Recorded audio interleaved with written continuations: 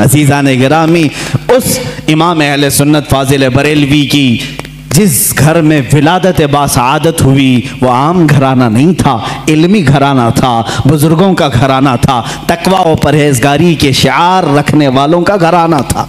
आला हज़रत रदी अल्लाह तआला दस शवाल मुकर्रम, बरेली शरीफ में सनीचर के दिन, जब आपकी विलादत हुई, जोहर का वक्त था ये आला हज़रत इमाम अहमद रज़ा ख़ान रहमतुल्लाह ताला मौलाना नकी अली ख़ान रहमतुल्लाह ताला के घर पैदा होते हैं। मौलाना नकी अली ख़ान, आला हज़रत के वालिद माजिद, ज़बरदस्त आलिम दीन, फ़कीह कामिल वली कामिल थे। आपके दादा मौलाना रज़ा अली ख़ान रहमतुल्लाह ताला कुतुबुल वक्त थे। आपका सिलसिला नसब आला हज़रत रदी अल्लाह तु का अफ़गानिस्तान के बड़हेज कबीले के पठानों से मिलता है। बाज़ महक्कीन ने कहा है कि सहाबी रसूल तक आपका नसब पहुँचता है। वल्लाहु आलम।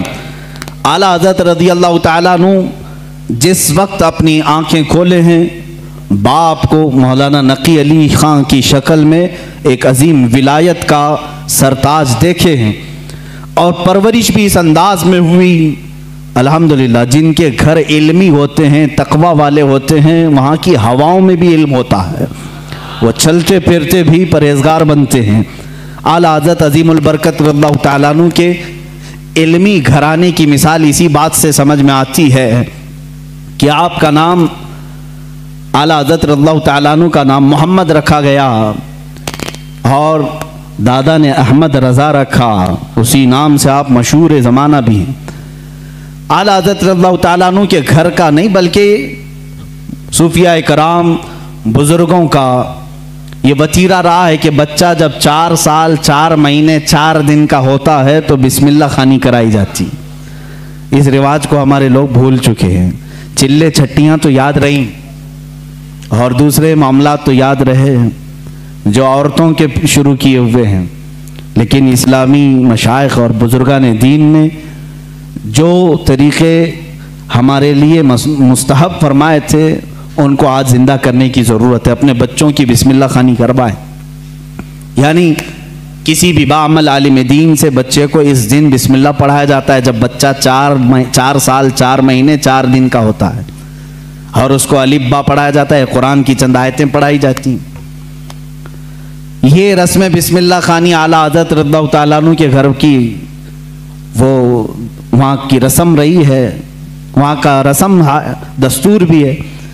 आला हज़रत को उस्ताज आए पढ़ाने के लिए, उसी रस्म बिस्मिल्लाह खानी में जब उनके दादा भी हैं, वालिद भी हैं। लेकिन रस्म के मुताबिक उस्ताद आए पढ़ाए, अलिफ, बा, ता, सा, जीम, हा ये जो अलिफ, बा पढ़ाया जाता है, आला हज़रत रल्ला तु उसी मजलिस में एक सवाल करते हैं अपने उस्ताद से। अलीफ से लेकर कायदा आप भी पढ़ते होंगे ना? अलीफ, बा तासा जीम, हा, खा, दाल दाल, रा जा सीन, शीन, स्वाद बहुत पा आइन गैन, फा, काफ काफ, लाम, मीम, नून, वाव, हा। उसके बाद आता है लाम अलीफ, या। ये लाम अलीफ भी आता है ना? बहुत सारे कायदों में लिखा रहता है। उस्ताद ने पढ़ाया तो आला हज़रत ने फरमाया, ये सिंगल सिंगल हरूफ पूरे तो मैंने पढ़ लिया। अलीफ भी पढ़ लिया, लाम भी पढ़ लिया, ये लाम अलीब फिर क्यों आया? किस उम्र में पूछ रहे हैं? चार साल की उम्र में। उस्ताद दंग रह गए हैं। आला हज़रत के जद अमजद मौलाना रज़ा अली ख़ान रमतुल्ला बड़े पाए के आलिम हैं। आपके वालिद गिरामी मौलाना नकी अली ख़ान रमतुल्ला ज़बरदस्त फ़कीह थे, बैठे हुए थे, वो मुस्कुराते रहे। बच्चे की तबहर को देखें। उस्ताद ने कहा, बेटा बात ऐसी है कि सिंगल सिंगल हरूफ पढ़ा दिए गए। बच्चे को ये बताने के लिए कि हरूफ जोड़ते कैसे हैं, इसलिए कायदे में एक लफ्ज लिख दिया जाता है, लाम अलिफ। यानी ला। लाम अलिफ मिला करके कैसे पढ़ाते हैं, इसलिए लिख दिया जाता है। बाकी सब तो सिंगल हरूफ होते हैं, अली, बा, ता, सा, जीम, हा। लेकिन कहाँ? ज़माने का जो मुजद होने वाला है, इतनी बात से खामोश कहाँ रहे कहा, अगर मिलाकर के ही पढ़ाना था तो बे को अलिफ से मिलाकर पढ़ा देते। ते को अलिफ से मिलाकर पढ़ा देते जीम को अलिफ से मिला के ये लाम के साथ ही क्यों अलिफ को मिला है? अब जो उस्ताद आए थे, वो तो खामोश हो गए। वो खामोश हो गए। इतने छोटे बच्चे ऐसा सवाल तो नहीं करते।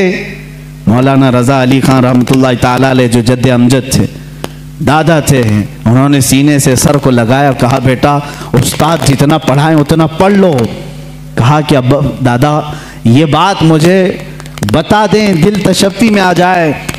मौलाना रजा अली खान रमत बर वक्त फरमाते हैं, बात यह है, लाम को अलिफ से क्यों मिलाया? दूसरे हरूफ से क्यों नहीं मिलाया? इसलिए कि ये दोनों हरूफ में मुशाबहत बहुत ज़्यादा है। ये दोनों मिलते जुलते हैं। किस बात में? सूरत के एतबार से भी, सीरत के एतबार से भी। कहा, वो कैसे? कहा, लिखने में आलिफ भी लंबा होता है और लाम भी लंबा होता है। ये सूरत में दोनों लंबे हैं। और दूसरी बात, लाम को अगर आप लिखेंगे, हिज्जे करके अगर आप पढ़ेंगे, लाम, अलिफ, मीम लिखना पड़ेगा। लाम, यानी लाम को अगर वर्ड्स में लिखा जाए, हरूफ में लिखा जाए तो कैसे लिखेंगे? लाम, अलिफ, मीम। और जब अलिफ को लिखेंगे तो वहाँ पर भी तीन हर्फ लिखने पड़ेंगे वर्ड्स में। इन वर्ड्स लिखें। अलिफ, लाम, फा।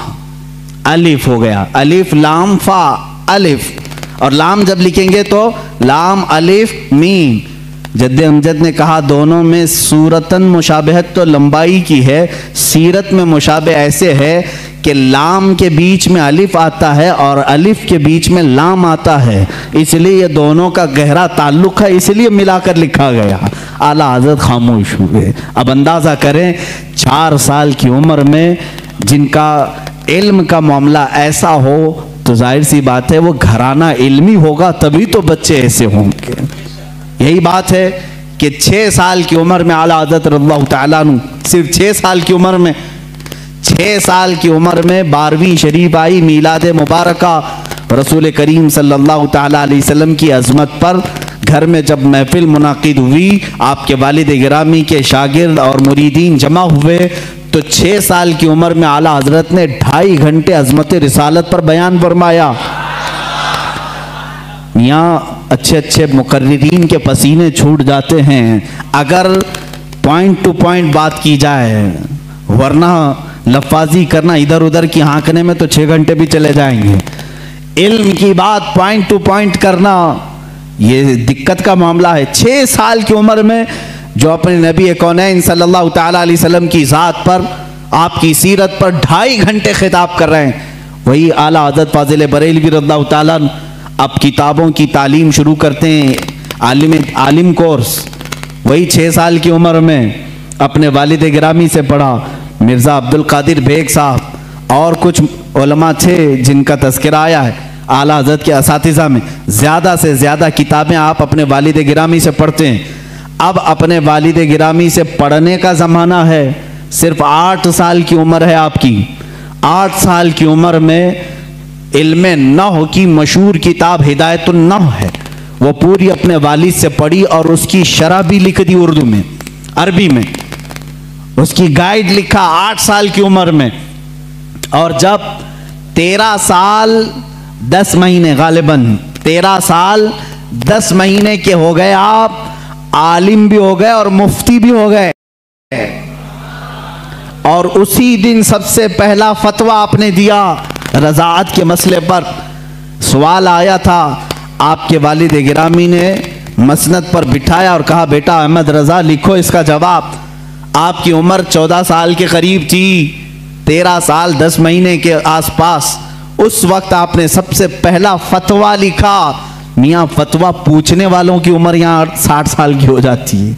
लिखने वालों की बात तो छोड़े। वो तेरह साल दस महीने की उम्र में पहला फतवा सादिर फरमाते हैं। उसमें दलाइल भी हैं, कुरानी आयात अहादीस रसूल वालिद गिरामी ने देख करके माथे का बोसा लिया और कहा, आज से तुम मसनद इफ्ता पर बिठाए जाते हो। तेरह साल, दस महीने की उम्र से लेकर जब तक आपकी वफात ना हुई, उस वक्त तक आपने फतवा नवीसी फरमाई। तकरीबन बीस हज़ार से, तकरीबन छः हज़ार से ज़्यादा फतवे आपने हर साल फरमाए। आज वही फतावा रजविया की शक्ल में हमारे पास एक फ़िकी इंसाइक्लोपीडिया मौजूद है, जिसकी तीस जिल्दें हैं। इक्कीस हज़ार सफ़ात के करीब ये किताब है। ढाई सौ रिसाले उसके अंदर मौजूद हैं। ढाई सौ रिसाले अलग अलग किताबें, जो जिस तरह का सवाल आया, अरबी में आया तो अरबी में जवाब, फारसी में आया, फारसी में जवाब, इंग्लिश में आया, इंग्लिश में जवाब। जिस इल्म का सवाल आया, उस इल्म का जवाब आपने इरसाल फरमाया। ये तकरीबन फतावा रजविया आज जो छपी हुई है, तीस जिल्दों में है, तीस बड़े बड़े वैल्यूम्स हैं। इसीलिए बहुत मशहूर ख़ानदान मारहरा, मुतहरा के आला हज़रत रल्ला तु के पीर खाने के, साहब सज्जादा के बिरादर बिरादर असगर फरमाते हैं, आला हज़रत की शान में मीनार कसर रज़ा तो बुलंद काफ़ी है। ये सैयद अशरफ मारा रवी साहब, किबला अदाम इकबाल वो अभी बायात हैं। उन्होंने यही फरमाया और हक फरमाया कि मीनारे कसरे रजा तो बुलंद काफ़ी है, तुम उसके पहले ही जीने पे चढ़ के दिखला दो। अरे मियाँ, फतावा रजविया तो एक करामत है। फतावा रजविया तो एक करामत है, जरा हदाय के बख्शिश ही पढ़ के दिखला दो। आला हज़रत की लिखी हुई नातों की जो किताब है हदाय के बख्शिश, इसी में बहुत सारे लोग भटक जाते हैं, पढ़ नहीं पाते हैं। फतावा रजविया तो ओलूम का एक समंदर है। अजीज़ा ने गिरा में वक़ार आला हज़रत रदी अल्लाह तु के तबहर इल्मी को अगर बताता चलूँ तो ज़ाहिर सी बात है, मुझे पचपन ओलूम पर बात करनी पड़ेगी। मुझ जैसा नाकिस इल्म और कम फहम आदमी इन तमाम ओलूम पर गुफ्तु कहाँ से कर सकेगा? हमारे इल्म की बिसात ही कितनी है उन ओलूम पर बात करने की। आला हज़रत रल्ला तु के तमाम ओलूम पर जो लिखी गई किताबें अगर बयान करने शुरू करें तो ज़ाहिर सी बात है उतना इल्म होना चाहिए। या कम से कम उतना मुताला हो। लेकिन हमारा सरसरी मुताला है, जैसे होता है ऊपर ऊपर के दाने खाए हुए हैं। बस इतना ही देखें, आला हज़रत को गहराई तक जाकर कौन पढ़ा है। हाँ एक बात मैं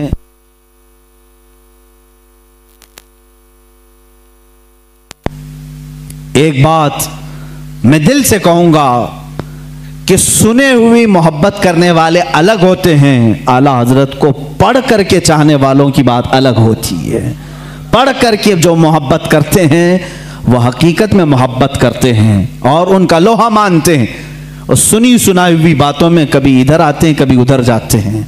मामलात ऐसे होते रहते हैं।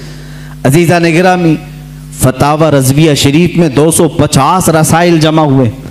उनके ओलूम का किनारा कहाँ तक था? अल्लाह ही बेहतर जाने इल्म हदीस में कलम उठाया तो कई किताबें लिखी। उसूल हदीस में कलम उठाया, उस पर किताबें लिखी। फ़िका एक इल्म का नाम है। इसमें तो पूरी किताबें मौजूद हैं। उसूल फ़िका पर किताबें हैं आपकी। और इनके अलावा तफसीर में, उसूल तफसीर में, बलागत में, मानी में, अर्ज़ में और उसके अलावा जो मैथ्स के रिलेटेड ओलूम होते हैं, उनमें कई किताबें आपकी हैं। इल्म रमल में, इल्म जफ़र में है, जीजात में है अरस्मातीकी में है। ये तमाम वो ओलूम हैं जिनको आज शायद व बायद कोई जानता हो। इल्म हैत है, इल्म तोक़ीत है, इल्म इल्म मुकाबला है, इल्म मुनाजरा है, इल्म रद्द है। इन तमाम ओलूम पर आला हज़रत की किताबें मौजूद हैं। उनके रसाले मौजूद हैं। ये एक बात होती है, कह देना कि इनको इतने उलूम आते थे। और एक बात है, उनकी इस इल्म पर किताबें पेश करना। हम मुबालगा आरई से काम नहीं लेते। जिस इल्म की मैं बात कर रहा हूँ, आला हज़रत इस इल्म को जानते थे, उस इल्म की ज़रूर उनकी किताब भी मैं तुम्हारे सामने पेश कर सकता हूँ। कई ओलूम पर अल्लाह ताला ने आपको महारत तामा फरमाई थी। ये एक बात आप समझ करके चलें ये उनके पास वक्त कितना रहा होगा? ये सब लिखने का, इन तमाम ओलूम को हासिल करने का। आला हज़रत रल्ला तु की दुनियावी जो ओलूम है, उन पर जो गिरफ्त है, इतनी ज़बरदस्त।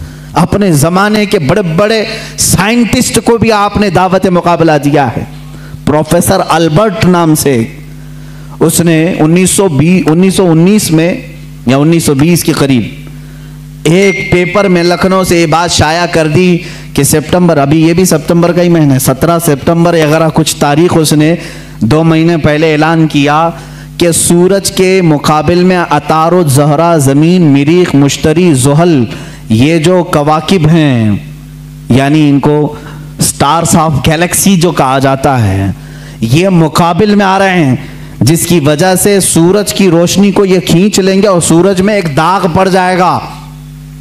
प्रोफेसर अल्बर्ट, एक साइंटिस्ट है, और उसने ये अपना चैलेंज तीन माह पहले पेपर में शाया कर दिया कि ये पूरे जो स्टार्स ऑफ़ गैलेक्सी हैं, ये अपोजिट आ रहे हैं सूरज के, और सूरज में ये दाग पैदा करेंगे, और इसकी वजह से पूरे मौसम खराब हो जाएँगे, और इन तमाम हालात को ख़त्म होने में कई हफ़्ते लग सकते हैं। इस वक्त जहरीली हवाएँ भी आ सकती हैं। हो सकता है कि तमाम लोग मर जाएँ। लोगों में अफरा तफरी। हालात ऐसी हैं जो बोल दिया, सब अंधाधुंध मान लेते हैं। ऐसा ही कोई अल्बर्ट इस ज़माने में कोरोना भी बोला होगा। आला हज़रत रद्दा उस ज़माने में, जब आपके पास लोग आकर के कहने लगे कि, हुजूर, ऐसी ऐसी बात है, वो साइंसदान है और कह रहा है कि ये नजूम, ये सितारे सूरज के अपोजिट में आ रहे मुकाबिल में आ रहे हैं, जिसकी वजह से सूरज की रोशनी वो खींच लेंगे और सूरज में दाग हो जाएगा, जहरीली हवाएँ आएँगी, फला फला फला बातें। आला रद्दा इन ओलूम में दस्तरस रखते थे, महारत रखते थे। पूरी किताब लिख डाली। पूरी किताब लिखी। मैं आज ही वो किताब पढ़ रहा था, मेरा सर चकराने लगा, मैंने किताब बंद कर दी। इसलिए कि ये इल्म नजूम की बात है। आला हज़रत उसमें शक्लें बना बना करके लिख रहे हैं। अतारुद इतने सेंटीग्रेड का होता है, इतने दकीके का होता है, इतने मिनट का होता है। जोहल की ये शक्ल होती है, फला जगह होता है। इतने ज़माने में यहाँ से यहाँ आता है। यूरेनस नेपचून ये इसकी मियाद मुद्दत इतनी होती है। फला वक्त यहाँ होता है, सितंबर में ये कहाँ रहता है।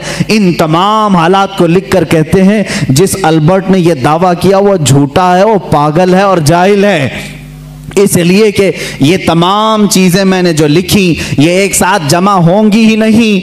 और अहमद रज़ा का ये दावा है कि 17 सितंबर क्या 17 18 सितंबर क्या, इस तरह के हालात इंशाल्लाह कभी ना आएँगे। और दुनिया ने देखा, सितंबर आए गए, न सूरज काला हुआ, न जहरीली हवाएँ आई। साइंसदान दावे करते रहते हैं। ज़ाहिर सी बात है इल्म दीन सिर्फ़ ये न समझो कि कुरान हदीस सिर्फ़ मदरसा मस्जिद का नाम है, कुरान हदीस ओलूम का समंदर है, जो हकीकत में इसका वारिस होता है, अल्लाह दुनियावी ओलूम का भी उसे बादशाह बनाता है। आला हज़रत की ज़ात में हमने वो देखा है, साइंसदानों के भी मुँह बंद कर दिए, डार्विन के नज़रिए को गलत साबित किया। डार्विन का नज़रिया था, इंसान बंदर से पैदा हुआ है। आपने पढ़ा होगा स्कूलों में वगैरह बाद में ये नज़रिया ख़त्म किया, आला हज़रत ने उसका रद्द फरमाया मियाँ, जो जिसकी नस्ल से हो, वो अपनी नस्ल को बताए, मगर हम आदमी हैं, आदम से पैदा हैं। आदम से पैदा है। ज़ाहिर सी बात है, साइंस की उन तमाम थ्योरीज को रद्द करना उसी के बस का कमाल है, जो साइंस से वाकफियत रखता है। आला हज़रत रद्दा ने डार्विन के नज़रिए को गलत साबित किया, और फिर ज़मीन और सूरज के मामलात जो हैं, आज भी साइंस यही कहती है यह अब तक इख्तिलाफ चल रहा है, कई लोग मुझसे सवाल भी कर चुके आला हज़रत रल्ला का इस पर इख्तिलाफ है और मुझे उम्मीद है कि यह नज़रिया भी गलत साबित होगा। जो आज साइंस कहती है कि ज़मीन घूमती है। यही साइंस में पढ़े ना? मैं भी पढ़ा हूँ स्कूल में। आप भी पढ़े होंगे। ज़मीन घूमती है और ज़मीन घूमते घूमते 24 घंटे का एक मदार होता है इसका। और सूरज के अतराफ घूमती है तो तीन सौ पैंसठ दिन होते हैं। ऐसा ही है ना? साइंस में ऐसा ही है। अला हज़रत तु ने इस नज़रिए का रद्द किया और फरमाया, ज़मीन साकिन है, सूरज घूम रहा है।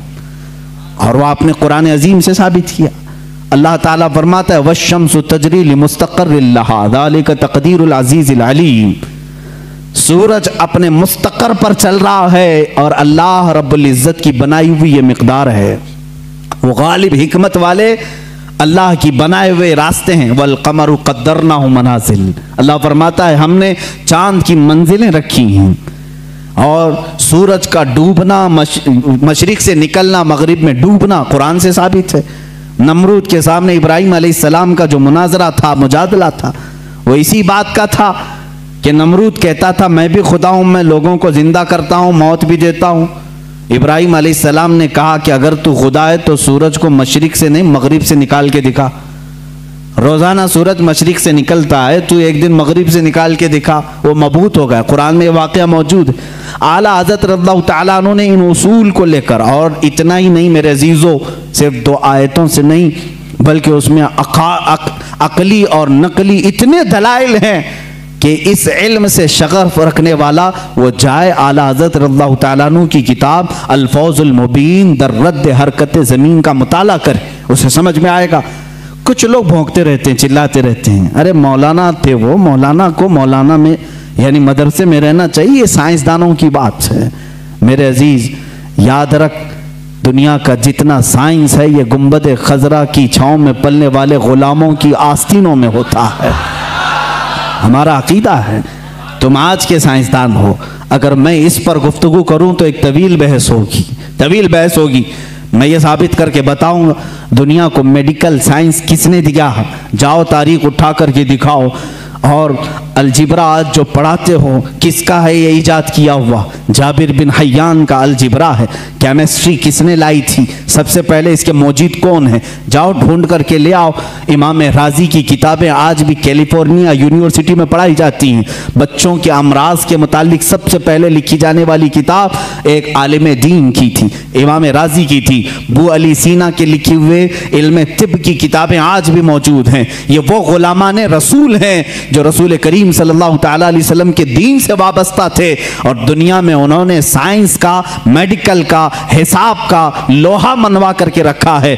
यह और बात है कि हम कसम पुरसी के आलम में हैं, आज के ज़माने में मौलवी हजरात सब छोड़कर मुसल्ले पर आ गए हैं। इसकी वजह से तुम्हें शक हो रहा है। इन उम्मीद रखो उम्मीद रखो, अल्लाह रब्ज़त फिर से कोई ऐसा मुजद पैदा करेगा जो तुम्हें बताएगा कि इल्म दीन हो या जिसको तुम इल्म दुनिया कहते हो, ये दर हकीकत मोहब्बत रसूल और मेरे आका सल्लल्लाहु अलैहि वसल्लम के ग़ुलामों को सदक़े में दिया जाता है। ये आला हज़रत खुद फरमाते हैं, शुरू में मुझे मंतिक की किताबों से शगफ था। शरह चिकमीनी, बड़ी मशहूर किताब उस ज़माने की। हम तो पढ़े नहीं मियाँ।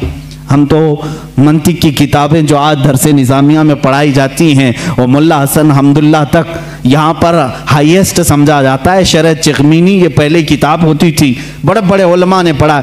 आला आज़द फरमाते, मैं वो सब किताबें पढ़ने की कोशिश करता, जब आपकी उम्र दस साल की थी। दस साल की, ग्यारह साल की उम्र में। शरद चिकमीनी, ये किताबें पढ़ने लगे तो आपके वालिद गिरामी मौलाना नकी अली खान साहब फरमाते हैं, आला हज़रत खुद फरमाते मेरे वालिद ने किताबें मुझसे ले ली।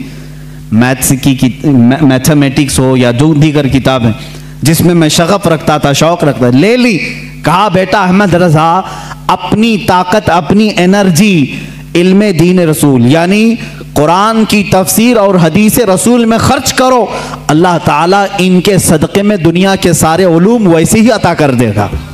आला हज़रत फरमाते हैं, उसके बाद फिर मैंने दूसरी किताबें देखी नहीं। दूसरी किताबें देखी नहीं। और न देखने के बाद इल्म का ये मामला है, अल्लाह अकबर। मौलाना सैयद सुलेमान अशरफ भागलपुरी रमत आला हज़रत तु के शागिर्द भी हैं, मुस्लिम यूनिवर्सिटी अलीगढ़ में दीनियात के प्रोफेसर भी थे। वो खुद इस बात को बयान करते हैं, उनके यहाँ एक सर ज़ियाउद्दीन साहब थे। वो बड़े मैथ्स के माहिर थे। वो बातों बातों में, हर चीज़ में हिसाब किताब की बातें करते हैं। हिसाब से आज वैसी भी जी चुराते हैं सारे लोग। अक्सर के बैक जो पेपर जाते होंगे मैथ्स के ही होते हैं। हाँ जिनको बहुत ज़्यादा कॉलेज और यूनिवर्सिटी पर फख्र है, उनके मैथ्स को भी मैं देखना चाहूँगा। आओ, जो दीन रसूल पर हमला करते हैं, या ओलमाए उम्मत को ताना देते हैं कि मौलवी का मौलवी का कितना बिसात मुसल्ले से घर तक इतना ही होता है, यही शायद उस वक्त भी ख्याल रहा हो। सर जियाउद्दीन एक बड़े माहिर मैथ्स के जानने वाले थे। उन्होंने मौलाना सैयद सुलेमान अशरफ साहब से कुछ बातों में इन मामला को पूछा कि कुछ हिसाब ऐसे हैं, कुछ मैथ्स ऐसे हैं जो मुझे समझना है। और यहाँ इस वक्त इन तमाम चीज़ों को जानने वाला कोई नहीं है। मौलाना सैयद सुलेमान अशरफ साहब ने कहा कि एक काम कीजिए, हमारे उस्ताद हैं मौलाना अहमद रज़ा खान साहब। बरेली शरीफ में रहते हैं, आप उनके पास जाकर डिस्कस कर लें गुफ्तु कर लें, शायद ये फंडा हल हो जाए आपका। वो मुस्कुरा करके कहे, मौलाना, ये मौलवी लोगों का काम नहीं है। मैं इसको जर्मन और ऑक्सफोर्ड के बड़े बड़े यूनिवर्सिटियों से रबता कर चुका हूँ। वहाँ से अब तक जवाब नहीं आया। जर्मनी से, लंदन से। मौलाना सुलेमान अशरफ साहब ने फरमाया क्या बात है? एक बार मिल करके देख तो ले। जर्मनी बहुत दूर है, इंग्लैंड बहुत दूर है, बरेली करीब है अलीगढ़ से। आप जा करके तो आए वो कहते हैं, मैं उनकी बात पर आया। यहाँ जब तशरीफ़ लाए, आला हज़रत फाजिल बरेल भी रद्दा असर की नमाज़ के बाद बैठते थे। चारपाई पर और लोग आने वाले मुलाकात करते अपनी अपनी हाजतें लेकर आते। वो आए। मौलाना सुलेमान अशरफ साहब ने पहले ही ख़त लिखा था आला हज़रत को कि फ़लाँ फ़लाँ साहब हैं। आप उनको इजाज़त, मुलाकात अता फरमाए। आला हज़रत ने उनसे बात करना शुरू फरमाई। उन्होंने कहा कि मेरे पास एक सख्त मसला पेश आया हिसाब का मैथ्स का। मैं वो आपसे डिस्कस करना चाहता हूँ। आला हज़रत ने फरमाया, कहिए क्या बात है? उन्होंने कहा, मैं चाहता हूँ कि आप आराम से जब आपके पास वक्त हो, तब डिस्कस करें। यह असर मगरिब के बीच का छोटा सा वक्त मेरे बड़े मसले के लिए नाकाफी है। आला हज़रत ने फरमाया, कह तो दें कुछ बात उसकी। क्या है मसाइल? आला हज़रत ने जब बात दो बार फरमाया तो सर जियाउद्दीन कहते हैं, ये प्रोफेसर थे अलीगढ़ यूनिवर्सिटी के। मैंने वो अपनी एक कलम और कापी में लिख करके दिखाना शुरू किया कि ये ये मसला है। वो हिसाब का, मैथ्स का एक मुश्किल और टफ फंडा था। आला हज़रत मुस्कुराए और चार जुमलों में जवाब इनायत फरमाया और लिख करके फरमाया, सर ज़ियाउद्दीन कहते हैं, मैं वो देखता रह गया, यहाँ तक कि मगरिब की अजान हो गई, आला हज़रत नमाज़ के लिए चले भी गए और मैं उसी में उलझ करके रह गया। मुझे जो बरसों से मामला समझ में नहीं आया, वो एक मौलाना के पास दस मिनट में कैसे समझ में आया? सर ज़ियाउद्दीन कहते हैं वापस अलीगढ़ आकर के उन्होंने दाढ़ी शरीफ भी रखी और सैयद सुलेमान अशरफ साहब से कहा, मौलाना, अब तक मैं मौलवियों को हल्का समझता था, मगर मौलाना अहमद रज़ा खान से मिलने के बाद यकीन हो गया कि जो आशिक रसूल होता है, अल्लाह उसको दीनी सदक़े में तमाम उलूम अता फरमा देता है। ऐसा इल्म का बहरे बेकरा मैंने किसी को नहीं देखा। ये एक नहीं, दो वाक़ात अलीगढ़ के यूनिवर्सिटी के मिलते हैं और एक प्रोफेसर साहब ने भी आला हज़रत तु से इसी तरह की डिस्कस की थी गुफ्तु की थी। आला हज़रत तु मैथ्स में इतने माहिर थे हैरत की बात है, जो मसला वो हल कर रहे थे, जो मसला वो हल फरमा रहे थे, उसको सुकूर या अरस्त अरस्तोतेलिस या लोगारिज्म, ये इस तरह के जो मामलात होते हैं, इन तमाम चीज़ों से मिली हुई कुछ मस, कुछ बातों को वो डिस्कस कर रहे थे। आखिर में उन्होंने सर जियाउद्दीन ने पूछा, मौलाना अहमद रज़ा खान साहब, आपने हिसाब कहाँ से पढ़ा? इतना सारा मैथ्स कौन सी कॉलेज यूनिवर्सिटी से पढ़ा? आला हज़रत ने फरमाया, मैंने मेरे वालिद से प्लस माइनस मल्टीपल डिवाइड के हिसाब सीखे, उसके बाद कुछ नहीं सीखा। जो कुछ भी आता है, ये रसूलुल्लाह की बरकत है। ये आता ही इल्म है। इसी को कहते हैं इल्म लदुन्नी। इसको कहते हैं इल्म लदुन्नी, जो अल्लाह ताला अपने फजल से बंदों को अता करता है। अजीज़ा ने ग्रामी, लोग ये समझते होंगे कि आला हज़रत का तस्करा ये इतना क्यों करते हैं? मैं कहता हूँ, ज़िंदगी भर करते रहोगे, थक जाओगे, सुनते हुए मैं उनकी किताबें नहीं सुना पाऊँगा आपको। उनकी किताबें नहीं सुना पाऊँगा। आपसे किसी ने पूछा था, पानी किन किन पानियों से वज़ू करना जायज़ है? पानी की अकसाम बयान करने लगे। ये एग्रीकल्चर या एग्री जो कॉलेज हैं एग्रीकल्चर वहाँ पर पानी के अकसाम वगैरह बयान किए जाते हैं। हाईएस्ट जो बयान किए गए हैं, वो ग्यारह, बारह, तेरह किस्म के पानी बयान किए हैं। ग्यारह किस्म के, बारह किस्म के, बाद यूनिवर्सिटी में तेरह किस्म के, इस पर भी महक्कीन ने तहकीक की है। कि एग्रीकल्चर यूनिवर्सिटीज़ में पानी के अलग अलग किस्में कैसे कैसे बयान की गई। लेकिन इमाम मोहम्मद रज़ा खान फाजिल बरेलवी रल्ला से जब सवाल हुआ तो आपने 303 किस्म के पानी बयान फरमाए हैं। इतने पानी के अकसाम बयान की। आला हज़रत रल्ला जिस इल्म पर उंगली, कलम उठाए हैं, उसका हक अदा कर दिया है, उसका हक अदा किया है। आपका दूसरा सफ़र हज था। गालिबा 1906 में आप दूसरी मरतबा हज काबा के लिए तशरीफ़ ले गए थे। आपके बड़े साहबजादे हजतुल इस्लाम मौलाना हामिद रज़ा खान रमतुल्लाह भी आपके साथ थे।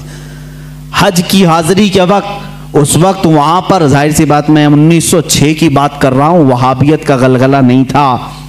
अहले सुन्नत जमात थे, तुर्कियों की खिलाफत थी। सुन्नी आशिकान रसूल मक्का में भी थे, मदीने में भी थे। हरमैन तयबैन थे। जैसी ओलमा को मालूम हुआ, हिंदुस्तान से एक जवान आलिम दीन है। वाए और उनके इल्म का तूती बोलता था उस वक्त। तो उस वक्त वहाबियों के शुरू शुरू के फितने निकले थे और इल्म गैब रसूल पर लोग सवाल कर रहे थे। मौलाना सैयद इस्माइल रहमत मक्का मुकर्रमा के जलील कदर आलिम दीन है। सैयद इस्माइल मक्की रहमत वहाँ पर मौजूद बड़े बड़े मशाइ हैं। जब मौलाना सैयद इस्माइल मक्की रमत को ख़बर हुई तो एक दिन आला हज़रत रल्ला मक् मुकरमा में तवाफ़ खाना काबा के बाद आप मकतबतुल हरम, मस्जिद हरम में जो मकतबा था, किताबें रखी जाती थी लाइब्रेरी, वहाँ जा रहे ये पीछे से आए, उन्होंने देखा, आला हज़रत रल्ला को देखा और उसके बाद मुलाकात हुई गुफ्तु हुई। मकतबे में जब गए तो वहाँ चार और बैठे थे, सब किताबें खोले हुए बैठे थे। आला हज़रत से उन लोगों ने अरबी में सवाल किया कि शरीफ मक्का गवर्नर, जो मक्का के गवर्नर हैं, इनका जहन खरीदने के लिए कुछ वहाँ भी ओलमा इल्म गैब पर सवालत कर रहे हैं। हमारे पास पाँच सवाल आए हैं। आप देख लें, चिट्ठी ली आला हज़रत ने और उसके बाद फरमाया कि ठीक है, मैं इसका जवाब लिख देता हूँ। मैं आपको लिखवा देता हूँ। उन ओलमा ने कहा, हमको इतना जल्दी नहीं चाहिए, इतना मुफसल चाहिए इतना तफसीली चाहिए कि वो उनमें से कोई जवाब ना दे सके। आला हज़रत रहमत मकतबतुल हरम मक्का में उस वक्त मौजूद थे और उन्होंने टाइम सिर्फ़ दो दिन का रखा था। उसी दिन आला हज़रत को बुखार आया, दूसरे दिन सख्त बुखार और उस वक्त सुबह के वक्त शायद गालिबन। आठ बजे या सात बजे हर में मक्का में आप बैठे थे मौजूद हैं बड़े बड़े वहाँ पर मुफ्ती हनफिया भी थे, मुफ्ती शाफिया भी थे, मुफ्ती मालिकिया भी थे। ये चारों मजाहब के मुफ्ती वहाँ पर होते थे। हर ज़माने में रहे हैं। ये बड़े बड़े अबकरी शख्सियात वहाँ थे। आला हज़रत रहमत बुखार की हालत में लिखाना शुरू फरमाते हैं। हुजूर अलैहि वसल्लम के इल्म गैब पर दलाइल लिखाना शुरू करते हैं। कुरान की आयतें पहले लिखाई, अहादीस रसूल जमा किया, अकवाल सलफ़ व सालहीन जमा किया, सहाबा व ताबाइन के मुतालिक मनसूब बातें लिखाई। यहाँ तक कि वो किताब तकरीबन 200 सफ़हात पर मुश्तमिल हो गई, जिसमें दलाइल का अंबार है, सत्तर से ज़्यादा दलीलें आपकी तरफ़ खुद से दी गई हैं। कुरानी आयात अपनी जगह पर, अहादीस रसूल अपनी जगह पर, अकवाल सलफ़ व सालहीन सब अपनी जगह पर, आठ घंटे मुसलसल लिखाते रहे। आठ घंटे में पूरी किताब तैयार हुई, जिसका नाम रखा अदौलतुलमक्या बिलमादतिलगैबिया ये मिस्र से भी शाया हुई है, जिसको अभी नाम की तब्दीली के साथ वहाँ के एक बड़े मशहूर आलिम, वहाँ के एक उस्ताद ने शाया किया है रफ़ और रैब अम्मा नाल मुस्तफ़ा मिनल गैब। ये किताब ऐसी हलचल मचा दी मक्का में।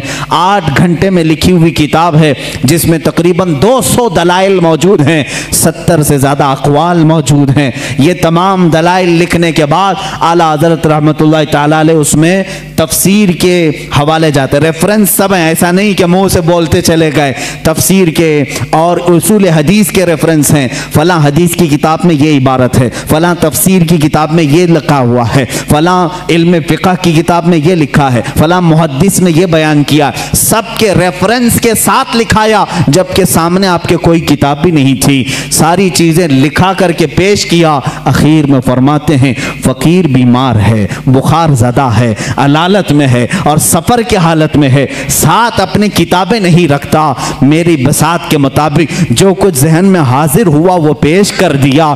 बाकी सब अल्लाह रब्बुल इज़्ज़त जिससे चाहे दीन का काम ले। अजीज़ा ने गिरामी ये किताब जब गवर्नर मक्का, शरीफ मक्का के पास सुनाई गई, पूरी रात भर बैठ करके वो शरीफ मक्का किताब सुनते रहे। दूसरी रात आई, पूरी किताब सुनी। यहाँ तक कि मक्का मदीना हाजिर होते हैं और आला हज़रत से दस्त बस्ता कहते हैं, आप अपनी इजाज़त हदीसा हमें आता फरमाएँ। आप अपनी इजाज़त में हमें शामिल फरमाएँ।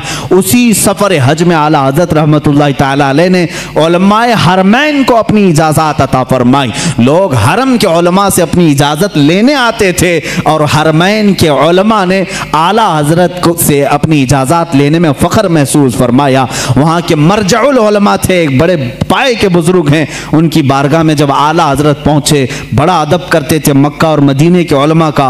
आला हज़रत ने उनके जानू को चूमा। उनके जानू को चूमा, वो सत्तर साल से ज़्यादा की उम्र के थे। उन्होंने बरजस्ता कहा ए हिंदी आलिम अहमद रजा, हक तो यह है कि मैं तुम्हारे नालैन को चूमूं। हक तो यह है कि मैं तुम्हारे कदमों को चूमूं। आला हज़रत तु को ये जो मकाम दिया हरमैन ने, सिर्फ़ इसलिए कि जब इस नौजवान आलिम दीन ने मेरे मुस्तफ़ा की शान में अगर किसी ने गैब के इल्म पर सवाल किया तो कलम से ऐसा जिहाद किया है, दांत खट्टे ही नहीं टुकड़े टुकड़े करके रख दिए। आला हज़रत रद्दा का ये कमाल था, जिस इल्म में आपने कलम उठाया, उसका हक अदा किया है। और ये अदौलतुलमकिया बिलमादतलगैबिया मैं समझता हूँ आला हज़रत की करामतों में से करामत है। पढ़े लिखे लोग समझेंगे, जाहिल तो भोगते रहेंगे, उनको क्या फ़र्क पड़ता है? किताब का नाम भी पढ़ना नहीं आता तो किताब वाले को क्या समझेंगे? हाँ किताब जो पढ़ेगा, वो ज़रूर समझेगा। कि इतनी सारी बातें लिखने वाला, वो भी बगैर सामने किताब के मौजूद हुए। आखिर इतने सारे रेफरेंस कहाँ से देगा? मैं अगर आप अभी मुझसे कहेंगे, फला फला चीज़ों का हवाला दो, मुझे किताब उठानी पड़ेगी। मैं बोलूँगा, देख करके सफ़ा नंबर आपको बताऊँगा, लेकिन वो इमाम अहले सुन्नत ऐसे हैं कि आँखें बंद करके किताबों के हवाले तक बता दिया करते थे। रेफरेंस उसी वक्त लिखा भी दिया करते और मिलाने वाले जब जा करके मिला के देखते, एक सतर का भी फ़र्क नहीं आता था। एक सफ़े का भी फ़र्क नहीं आता था। इमाम अल सुन्नत फाजिल बरेलवी रहमत ताला जो सबसे ज़्यादा उनकी किताबें हैं, वो रद्द पर हैं। उसकी वजह भी है। क्योंकि वो मुजद उस ज़माने के थे। उन्होंने नेचरियत का रद्द किया, वहाबियत का रद्द किया, नदवियत का रद्द किया गैर मुकलदियत का रद्द किया, कादियानियत का रद्द किया, राफजियत का रद्द किया। ये वो सब फ़िरक़े थे जो उस वक्त अपने जरासीम फैला रहे थे अहल सुन्नत जमात में। आला हज़रत रहमान अहमद रज़ा खां फाजिल बरेलवी रहमत ने इन सब के रद्द के साथ एक हसीन चेहरा इस्लाम का पेश किया है। मेरे अजीज़ों, क्या आप इस बात पर फ़ख्र नहीं करते कि औरों ने कहा कहा होगा। मोहम्मद अरबी सल्लल्लाहु अलैहि वसल्लम को पीठ पीछे की खबर नहीं। औरों ने अगर लिखा होगा, वो हमारे बड़े भाई की तरह होते हैं, बल्कि उम्मती अमल करते करते रसूल तक भी पहुँच सकता है। औरों ने पता नहीं क्या क्या कहा होगा, मगर मुझे इस बात पर फ़ख्र है, इमाम इश्क मोहब्बत ने हमें जो हमारे नबी का, हमारे नबी की अजमत जो बिठाई है और बताई है, वो इस शान से बताई है।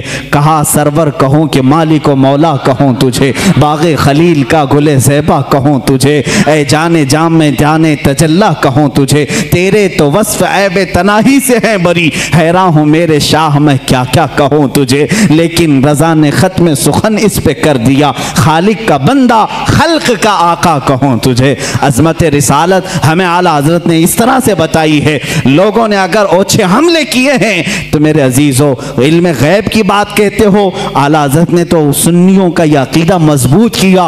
वो कहते हैं, पीठ पीछे का इल्म नहीं। सुनियो तुम दबंग ऐलान यूँ कहो। मेरे आका के इल्म की बात तो ये है, और कोई गैब क्या तुमसे निहा हो भला? जब न खुदा ही छुपा, तुम पे करे करोड़ों दुरू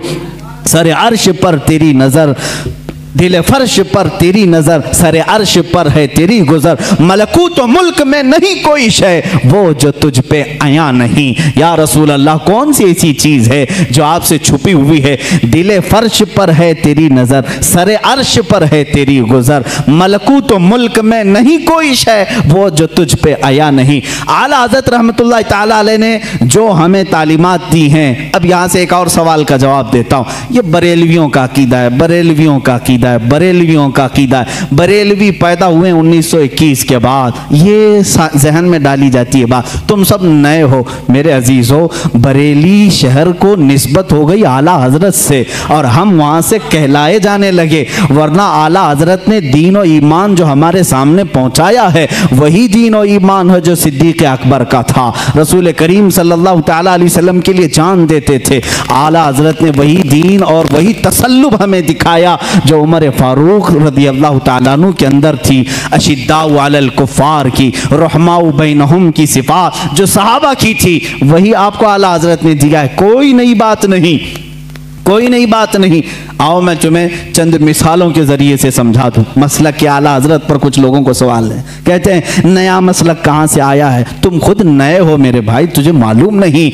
मसलक जो है, रास्ते का नाम है। रास्ते को कहते हैं, ये नया नहीं है, दीन इस्लाम ही है। हर जमाने में किसी शख्सियत से मंसूब होता है। हर जमाने में। हर ज़माने में दीन इस्लाम को किसी शख्स से मंसूब करके पहचाना जाता है, लेकिन दीन वही है।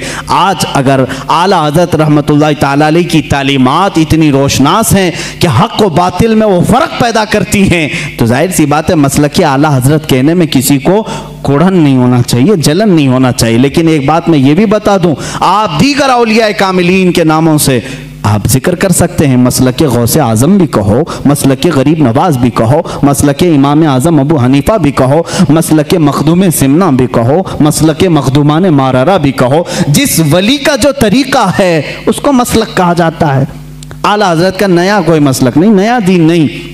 चंद मिसालें अगर मैं आपको पेश करूँ हजूर अक्रम वसल्लम के मुतालिक, ये बरेलवियों का अकीदा, बरेलवियों का, कि हजूर को पता नहीं क्या क्या मानते हैं। हजूर को कहते हैं, यही दाफ़िल बला हैं शाफ़िल शाफ़े हैं, दाफ़े हैं, ये तमाम बातें बरेलवियों ने शुरू की। ये कहते हैं, हजूर अलैहि वसल्लम को शाफ़े हैं दाफ़िल बलाओं को दूर करने वाले तुम मानते हो कि नहीं मानते हो? बीमारियों को दूर करने वाले। आला हज़रत ने फरमाया है तो जलन हो गई, शुरू हो गई। आओ मैं सहाबा की ज़िंदगी में तुम्हें बताऊँ। हजूर अक्रम वसल्लम की बारगाह में एक खातून आई अपने गूँगे बच्चे को लेकर। गूँगे बच्चे को लेकर, जिसकी ज़ुबान नहीं थी। बोलता नहीं था, आठ साल का या दस साल का बच्चा था। मुझे बताओ, ज़ुबान देता कौन है? कौन देता है? अल्लाह देता है। वह साहबिया को क्या मालूम नहीं था कि वो रसूल के पास क्यों आई? वो रसूल के पास क्यों आई? क्या तुम उसको भी, उस सहाबिया को भी बरेलवी बोलोगे? मेरे अज़ीज़, इंसाफ करो। ज़ुबान नहीं थी लेकर के आई। हजूर सल्लल्लाहु अलैहि वसल्लम तो बानी इस्लाम है। शार है, इस्लाम है, आप मना कर देते। ए खातून तुम मेरे पास क्यों आई? जा, ज़ुबान अल्लाह देता है। ज़ुबान कुत गोयाई बोलने की ताकत अल्लाह की जैन है, जा उसके पास। हुजूर तो कहते, हुजूर ने भी नहीं फरमाया। खातून आई बच्चे को लेकर। रसूल करीम सल्लल्लाहु अलैहि वसल्लम ने पूछा, क्या बात है? कहा, गूँगा है, बोलता नहीं। आप ऐसा कुछ फरमा दें, ऐसा कुछ इलाज दे दें कि ये बोलने लग जाए। हजूर अक्रम अलैहि ने ये नहीं फरमाया क्या मैं डॉक्टर हूँ, मैं तबीब हूँ, मैं कोई खुदा हूँ माजल्ला हजूर ने कुछ नहीं फरमाया, बल्कि सामने उस बच्चे को किया, कहा, उस बच्चे को सामने लाओ। गूँगा बच्चा है, पैदाइशी ज़ुबान नहीं। हजूर अक्रम अलैहि ने उससे सवाल किया, मन अना, ए बच्चे, बोल, मैं कौन हूँ? बच्चा बोल पड़ा अशद का मोहम्मद रसूलुल्लाह। मैं गवाही देता हूँ कि मोहम्मद सल्लल्लाहु अलैहि वसल्लम आप अल्लाह के रसूल हैं और वो बच्चा फिर सर सर बोलना शुरू किया। वो साहबिया खुश होकर अपने घर ले गई। मुझे बताओ, कौन देता है देने को मुँह चाहिए? यही तो बरेली के इमाम ने कहा, कौन देता है देने को मुँह चाहिए? देने वाला है सच्चा? देने वाला है सच्चा? हमारा नबी आला हज़रत ने अगर ये फरमाया है तो ये नया अकीदा नहीं। मेरे अज़ीज़ साहबा भी यही कहते थे, हमारे बच्चों की लकनत हो तो हजूर के पास ले जाते थे। इतना ही नहीं, एक साहबी के पेट में तकलीफ़ हुई, दर्द हुआ, हजूर के पास आए। अल्लाह के नबी सल्लल्लाहु अलैहि वसल्लम ने कहा, उसको शहद चटाओ। शहद चटाया, उनको जुलाब शुरू हो गए, दस्त लग गए, लूज मोशन। दूसरे दिन वो फिर आए, हजूर से कहा, कभी साहबी ने नहीं कहा, गलत दवा दे दी रिएक्शन हो गया? नहीं, उस साहबी साहबी दोबारा, वो सहाबी दोबारा आए। हजूर ने फरमाया, अस्की ही असला जाओ, फिर शहद चटाओ उसको। दूसरे दिन फिर शहद चटाए। अब की बार तो ऐसा हो गया कि पूरा बिस्तर खराब। तकलीफ़ इतनी हो गई कि जुलाब पर जुलाब। लेकिन वो सहाबी की हिम्मत देखें, यही अकीदा तो इमाम अहले सुन्नत का था। यही अकीदा इमाम अहले सुन्नत का था।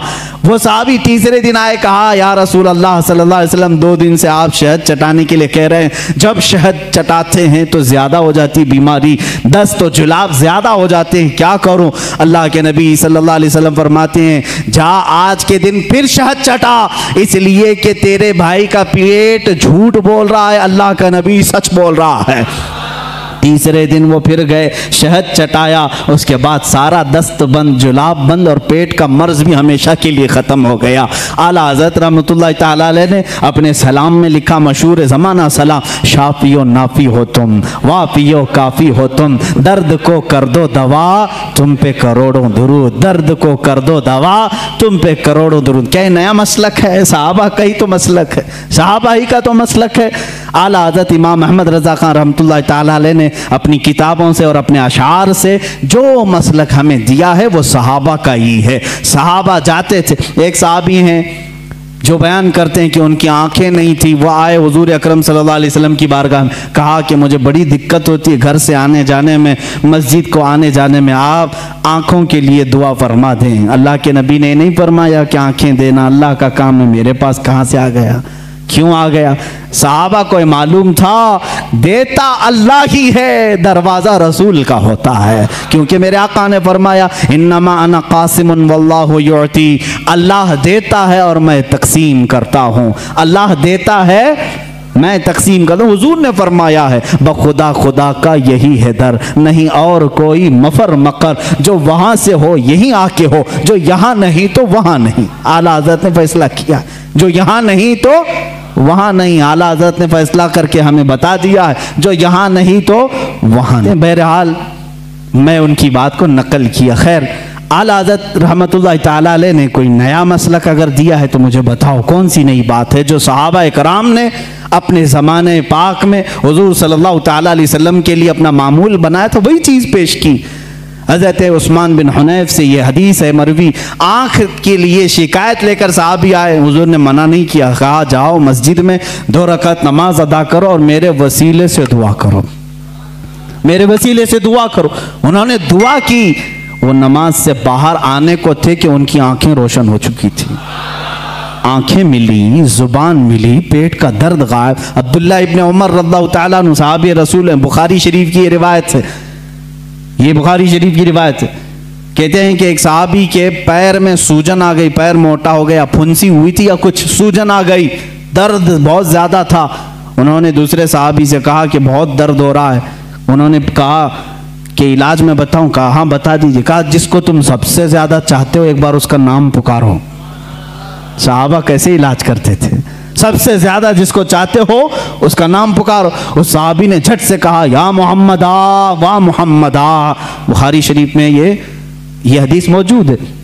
जैसे ही उन्होंने फरमाया और पैर झटका, वो साहबी कहते हैं, मेरे पैर से सूजन गायब हो चुकी थी। मेरे पैर में दर्द नहीं था। नाम मोहम्मद में इतनी तासीर है तो मेरे आका के लुआब पाक में क्या तासीर होगी? हुजूर जिस पर हाथ रखें उसकी क्या असर होगी? उसकी त, क्या तासीर होगी? अजीज़ा नगरा में वक़ा रसूल करीम सल्लल्लाहु अलैहि वसल्लम के मुतालिक जो कुछ भी अजमत और आपके मकाम व मरतबे की तज़ीम व तकरीम के सिलसिले में आला हज़रत इमाम अहमद रज़ा खान रहमत ने अपनी किताबों में लिखा उसमें से कोई नई बात नहीं। बल्कि सारी वही बातें हैं जो सहाबा हुजूर के लिए किया करते थे। मेरे आका सल्लल्लाहु अलैहि वसल्लम से जो हद दर्जे ताज़ीम व तकरीम करते थे। आला हज़रत रहमत ने रसूल करीम सल्लल्लाहु अलैहि वसल्लम के इश्क व मोहब्बत में इस कमाल को पहुँचे हुए थे कि जब कभी आपके सामने कोई किसी और का तस्करा करता तो आपको आप उसे रोक देते और कहते, मियाँ, इतनी देर मेरे नबी की बात तो करो। हुजूर की शान में कुछ बातें करो। लोग आते तो सबको हदीस रसूल पहले सुना, किसी साहब ने आकर के आपको गुलाब का तोहफा पेश किया, कहा कि लीजिए बड़ा अच्छा गुलाब था, आपके लिए तोहफे में ले आया। आला हज़रत ने गुलाब लिया, दुनियावी चीज़ों पर जो दिल दे बैठता है वह आशिक रसूल नहीं होता, बल्कि आशिक रसूल वो होता है जो दुनिया की हर खूबसूरती में अपने महबूब का जलवा देखता। गुलाब लिया और कहा, ये तो गुलाब सुबह शाम का है, सुबह खिला शाम में मुरझा गया और उसके बाद मैं उस गुलाब से मोहब्बत करता हूँ। सुनो, सरताब कदम है तने सुल्तान जमन फूल, लब फूल, दहन फूल जकन फूल, बदन फूल। वल्लाह, जो मिल जाए मेरे गुल का पसीना, मांगे न कभी इत्र, न फिर चाहे दुल्हन फूल। क्या बात रजा उस चमनिस्तान करम की, जहरा है कली जिसमें हुसैन और हसन फूल। पूरे फूल पर नात लिख दी। किसी ने फूल खाली पेश किया था और बारगाह मुस्तफ़ा में फूल पर पूरी नात लिख दी। मियाँ, मैं तो फूल उसको तस्लीम करता हूँ जो जब से खिला है कभी नहीं मुरझाता। बल्कि उसके साय में जो आ जाता है, वो भी खिला का खिला रहता है। ये आला हज़रत इमाम अहल सुन्नत फाजिल बरेलवी रहमत के इश्क रसालत का मामला था। और उनके नातिया दीवान हदाय के बख्शिश को आप कभी पढ़ करके देख लो। आज भी आज भी हालात ऐसे मेरे अजीज़ों। बहुत सारे अशार लोगों को समझ में नहीं आते, लेकिन झूमने लगते हैं। वो इमामुल कलाम है और कलामुल इमाम है, उनके हर नात को। ये मकाम हासिल है। सरकार दो आलम सल्लल्लाहु की बारगाह में जब डूब करके मदह सराई करते थे मदह सराई करते। आपके नात के मुतालिक ही एक बात मैं पढ़ रहा था, आपके छोटे भाई मौलाना हसन रजा खान रहमत वो भी बड़े आलिम दीन हैं, वो भी बड़े शायर थे, और दाग दहलवी दिल्ली के बड़े शायर का नाम मैं कह रहा हूँ, मिर्ज़ा गालिब इकबाल के टक्कर के, दाग दहलवी, वो उस्ताद थे अल्लामा हसन हसन रजा बरेलवी के। अलामा हसन रजा बरेलवी जब कोई नाच लिखते, कोई अशार लिखते तो चेक कराने के लिए दाग दहलवी के पास भेजते थे। दाग दहलवी के पास भेजते। आप अपने साहबजादे हसनैन रज़ा खान साहब को, कौन? आला हज़रत के छोटे भाई हसन रज़ा खान साहब अपने बेटे हसनैन रज़ा साहब को अपने कुछ अशार लिख करके भेज रहे थे दिल्ली। वो आला हज़रत के पास आए। आला हज़रत ने कहा, भतीजे, कहाँ जा रहे हो? कहा, दिल्ली जा रहा हूँ, दाग दहलवी साहब के पास।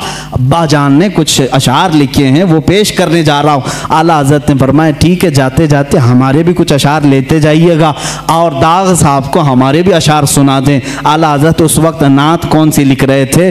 उनकी महक ने दिल के गुंचे खिला दिए। जिस राह चल दिए हैं, कूचे बसा दिए हैं। उनके निसार कोई कैसे ही रंज में हो। जब याद आ गए हैं, सब गम भुला दिए हैं। अल्लाह क्या जहन्नम अब भी न सर्द होगा? रो रो के मुस्तफ़ा ने दरिया बहा दिए हैं। मेरे करीम से गर कतरा किसी ने मांगा। दरिया बहा दिए हैं, दुर्बे बहा दिए हैं। ये पूरी नात लिख रहे थे। और जल्दबाजी में थे। पूरी नात लिखा अपना मकता, जिसमें शायर का तखल्लुस होता है, वो नहीं लिखा। पूरी नात लिख करके अपने भतीजे के साथ पेश किया। वो गए दिल्ली, दाग दहलवी साहब। बड़े शायर थे, बड़े बड़े उनके शागिर थे। पहले उन्होंने हसना, हसनैन रज़ा साहब का इस्तबाल किया, उनके वालिद की लिखे हुए अशार को चेक किया। बाद में उन्होंने कहा, हमारे बड़े अब्बा हैं, मौलाना अहमद रज़ा खान साहब। उनके भी कुछ नातिया अशार आपके सामने आए। हैं दाग दहलवी साहब ने मुताला किया। एक एक शेर को पढ़ा और उस नात के आखिर में कहा, मौलाना अहमद रज़ा खान साहब ने इसमें अपना तखल्लुस आखिरी शेर नहीं लिखा। लिहाजा जाओ भतीजे, मेरी तरफ़ से ये आखिरी शेर उनको पेश कर देना। मुल्क सुखन की शाही, तुमको रजा मुसलम जिस समत आ गए हैं, सिक्के बिठा दिए हैं। इमाम शोरा, शायरों का इमाम था। उसने कहा, जिस समत आ गए हैं, सिक्के बिठा दिए हैं। तुम्हारा क्या कहना आला हज़रत फाजिल बरेलवी का? अपने ज़माने के शोरा भी तुम्हारा अदब करते हैं, साइंसदान भी तुम्हारा अदब करते हैं और अपने ज़माने के प्रोफेसर यूनिवर्सिटीज़ में पढ़ाने वाले तुम्हारा अदब करते हैं। मुहदस सूरती, अब हदीस की बात आती है तो मैं आपको बता दूँ। मुहदस सूरती रमत जो मुहदस आज़म हिंद कचोछा के शेखुल इस्लाम के जो वालिद गिरामी मुहदस आज़म के उस्ताज में हम मुहदस सूरती आला हज़रत के हम असर हैं, शागिर्द नहीं हम ज़माना हैं। मुहदस सूरती साहब, मौलाना फजल गंज मुरादाबादी रमत के मुरीद थे। उनके मुरीद थे। आला हज़रत के पीर खाने से बैत भी नहीं थे। एक नहीं के मतलब दोनों एक ही जगह से मुरीद हैं। पढ़े भी एक साथ नहीं थे। लेकिन मुहदस सूरती इल्म हदीस के बड़े आलिम आला हज़रत का बार बार तस्करा, हर महफिल में तस्करा। मुहदस आज़म हिंद कछोछा शरीफ के, ये उनके शागिर्द हैं, वो खुद बयान फरमाते हैं। मुहदस आज़म रहमत फरमाते हैं, मैंने अपने उस्ताद मुहदस सूरती से पूछा कि मुहदस सूरती से कि आप, वसी अहमद सूरती रहमत उनका नाम, कहा कि आप अपने पीरो मुर्शिद का उतना तस्करा नहीं करते। अपने उस्ताद जिन्होंने मंतिक पढ़ाया, आपको इल्म हदीस पढ़ाया, उनका तस्करा नहीं करते। बार बार मौलाना अहमद रजा, मौलाना अहमद रजा, मौलाना अहमद रजा, हर महफिल में आप उनका तस्करा करते हैं। वजह क्या है? मुहदस सूरती रमतुल्ला देखे मेरे अज़ीज़, ज़माने के ओलमा को आपस में चपकलिश हो सकती, हसद हो सकता है। ये मेरे से बड़ा कैसे बन गया? लेकिन जो हकीकी आलिम दीन होता है, वो सच्चे आलिम दीन की तज़ीम व तकरीम भी करता है। मुहदस सूरती रमतुल्ला ने फरमाया, बेटा अय मेरे शागिर, आपने सवाल किया, सुनो, मुझे अपने पीरो मुर्शिद से बैत तो हासिल है। मेरे उस्तादों से इल्म मंतिक, फ़लसफ़ा, बलागत, मानी, हदीस, तफसीर, उसूल तफसीर तो हासिल है। लेकिन मौलाना अहमद रज़ा का मैं तस्करा बार बार इसलिए करता हूँ कि ईमान की जो मिठास मुझे मिली है, वो उनकी तालीमत से मिली है। अजमत रिसालत होती क्या है? मैंने मौलाना अहमद रज़ा से सीखा है। यकीन किस बात का नाम है? ये मैंने मौलाना अहमद रजा से सीखा है। आला हज़रत रद्बा तु का तवक्ल भी उतना था, यकीन भी इस दर्जे का था, जो फरमा दिया हुजूर सल्लल्लाहु अलैहि वसल्लम के वास्ते से उस पर अटल रहते थे। और यकीन के साथ, मशहूर ज़माना आप, अभी जो मैंने नात आपके सामने तिलावत की, उनकी महक ने दिल के गुंचे खिला दी।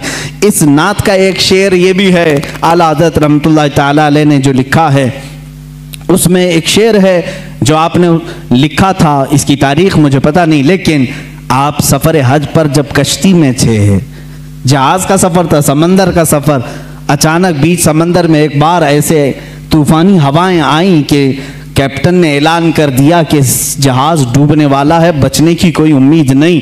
लोग अपने अपने कफन उठा लो, अपनी तैयारियाँ कर लो। शोर और गलगला मच गया था। आला हज़रत सुकून से बैठे अपनी किताबें पढ़ रहे थे, लिख रहे थे। आपकी वालदा माजिदा, आपके साथ। थी पूछा कि अहमद रजा ऐलान सुने, कहा, सुना। कहा, जहाज़ डूबने वाला है। कहा, नहीं डूबने वाला है। लोग मरने वाले हैं, कहा, नहीं लोगों की बात तो नहीं, लेकिन मैं तो महफूज रहूँगा। कहा इतने यकीन के साथ, कहा हाँ अम्मा, जब मैं जहाज़ में बैठा था, हजूर अक्रम सल्लाम की हदीस है, पानी के सफ़र पर जब कोई जाए तो ये दुआ पढ़ ले, बिस्मिल्लाही मजरेहा व मुरसाहा इन रबी लगफूर रही जो ये दुआ पढ़ ले, वो डूबने से और गर्क होने से महफूज हो जाएगा। मैंने वो दुआ तिलावत कर ली। अब मेरा ये यकीन कामिल है, हज़ार तूफ़ान आए, तूफ़ान झूठे हो सकते हैं, रसूलुल्लाह का कौल नहीं झूठा होगा। मैं महफूज रहूँगा। और आपने फरमाया था, आने दो या डुबो दो। अब तो तुम्हारी जानी, कश्ती तुम्ही पे छोड़ी, लंगर उठा दिए हैं। ये यकीन है, ये यकीन है।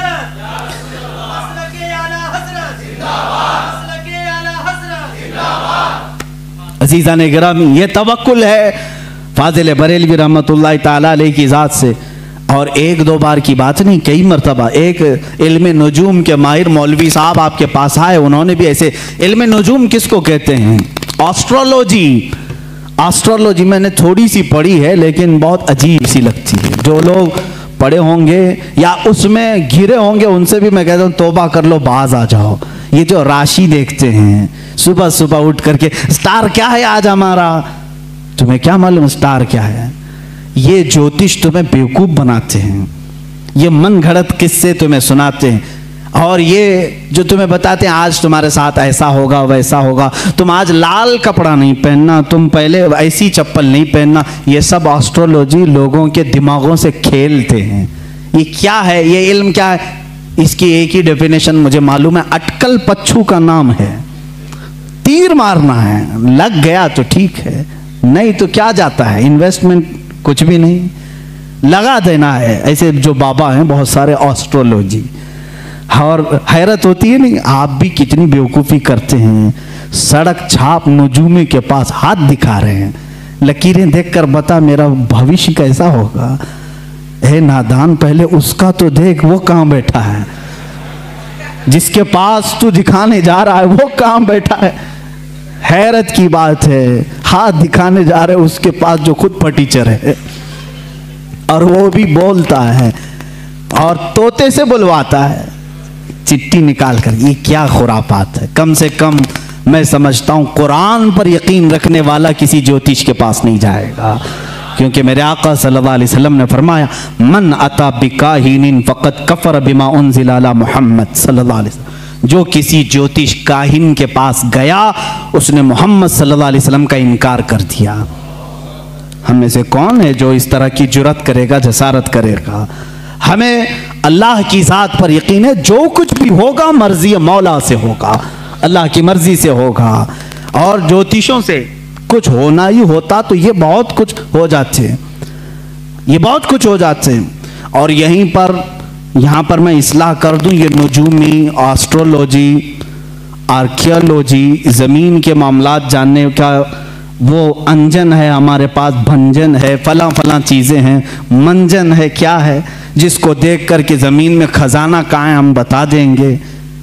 कुछ लोग पागल हो जाते हैं, किसी को आकर के कोई ज्योतिष कहते, तुम्हारे घर में बहुत पुराना खजाना है, उस पर चार जिन्नात हैं, मैं हटा दूँगा, निकाल लूँगा निकाल लूँगा ऐसे बहुत सारे और उनकी बातों पर बेवकूफ़ हो जाते हैं। हमने ऐसे भी देखे जो रातों में बैठकर कलम कापी लेकर के हिसाब कर रहे हैं। एक घड़े में कितना सोना होगा?